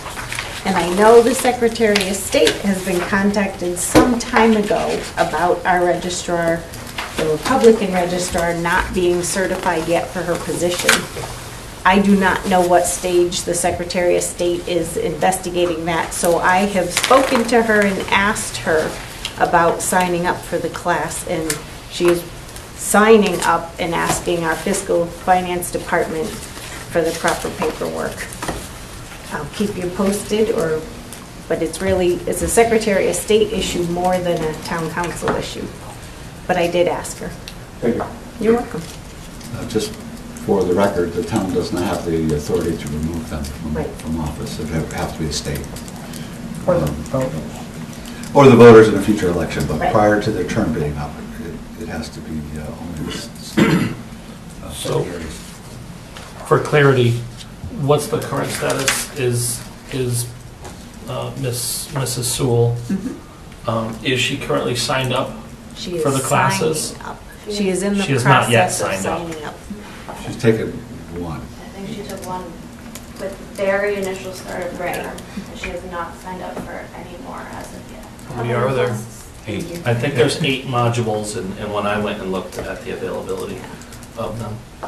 Yeah, some, Um, I They looked are not today very too, some are, available, so it's yeah, hard to get far them away. scheduled, and- They, they I have, so. they have recently ex- changed some things, that they're actually having classes at UConn. Well, good. I was gonna say, I thought, when I went on the site, it looked like uh, UConn has a special facility allowing them to participate in any of the trainings offered around the state, but they would just go to the UConn campus, which happens to be quite close to us. That's, that's relatively new within the last three or four months, from my understanding. Yeah, Okay, March, when I went, whenever we looked at the issue last, which might be at the tail end of that, um, yeah, it, I mean, it was clearly on there back then when I looked. Because I did look and say, well, But what when is? Marge what are we- Roach was trying to get her classes, they kept on canceling classes that she needed to take. So that Right, was a which problem. is for no, For lack of. people for lack of other people showing up, they don't teach the class for one person. So, but it's also my understanding from previous having to look at this, that there's kind of a track that they, that they do go through that kind of starts after an election when they know new people are coming in and will need to be certified. So you kind of have to hop on that train and then follow this, this modules Yes. through. There's like kind of a rotation of one, modules one through eight, and then they start that over again when there's another election. So if you're not on the train when it leaves the station, it's, it's hard to jump in and try to get there. Although I don't think they have to take them in order. No. In numeric order, but. All right. I move that the town council enter into executive session pursuant to the Connecticut General Statutes 1206D, discussion of the selection of a site or the lease, sale, or purchase of real estate by a political subdivision of the state when publicity regarding such a site, lease, sale, purchase, or construction would cause a likelihood of an increased price until such time as all the property's been acquired or all proceedings or transactions concerning same have been terminated or abandoned with the following people in attendance. Seven members of the town council, John Elsesser and Amanda Backhouse. Do I have a second? Second. Thank you. All those in favor, please say aye. Aye. Aye. I Next. move also that the town council enter an executive executive session pursuant to Connecticut General Statute 1206E, discussion of any matter which would result in the disclosure of public records or the information therein contained described as subsection B of section 1210 with the following people in attendance, the seven members of the town council, the town manager, John Elsesser, and Amanda Backhouse, Director of Finance. Second.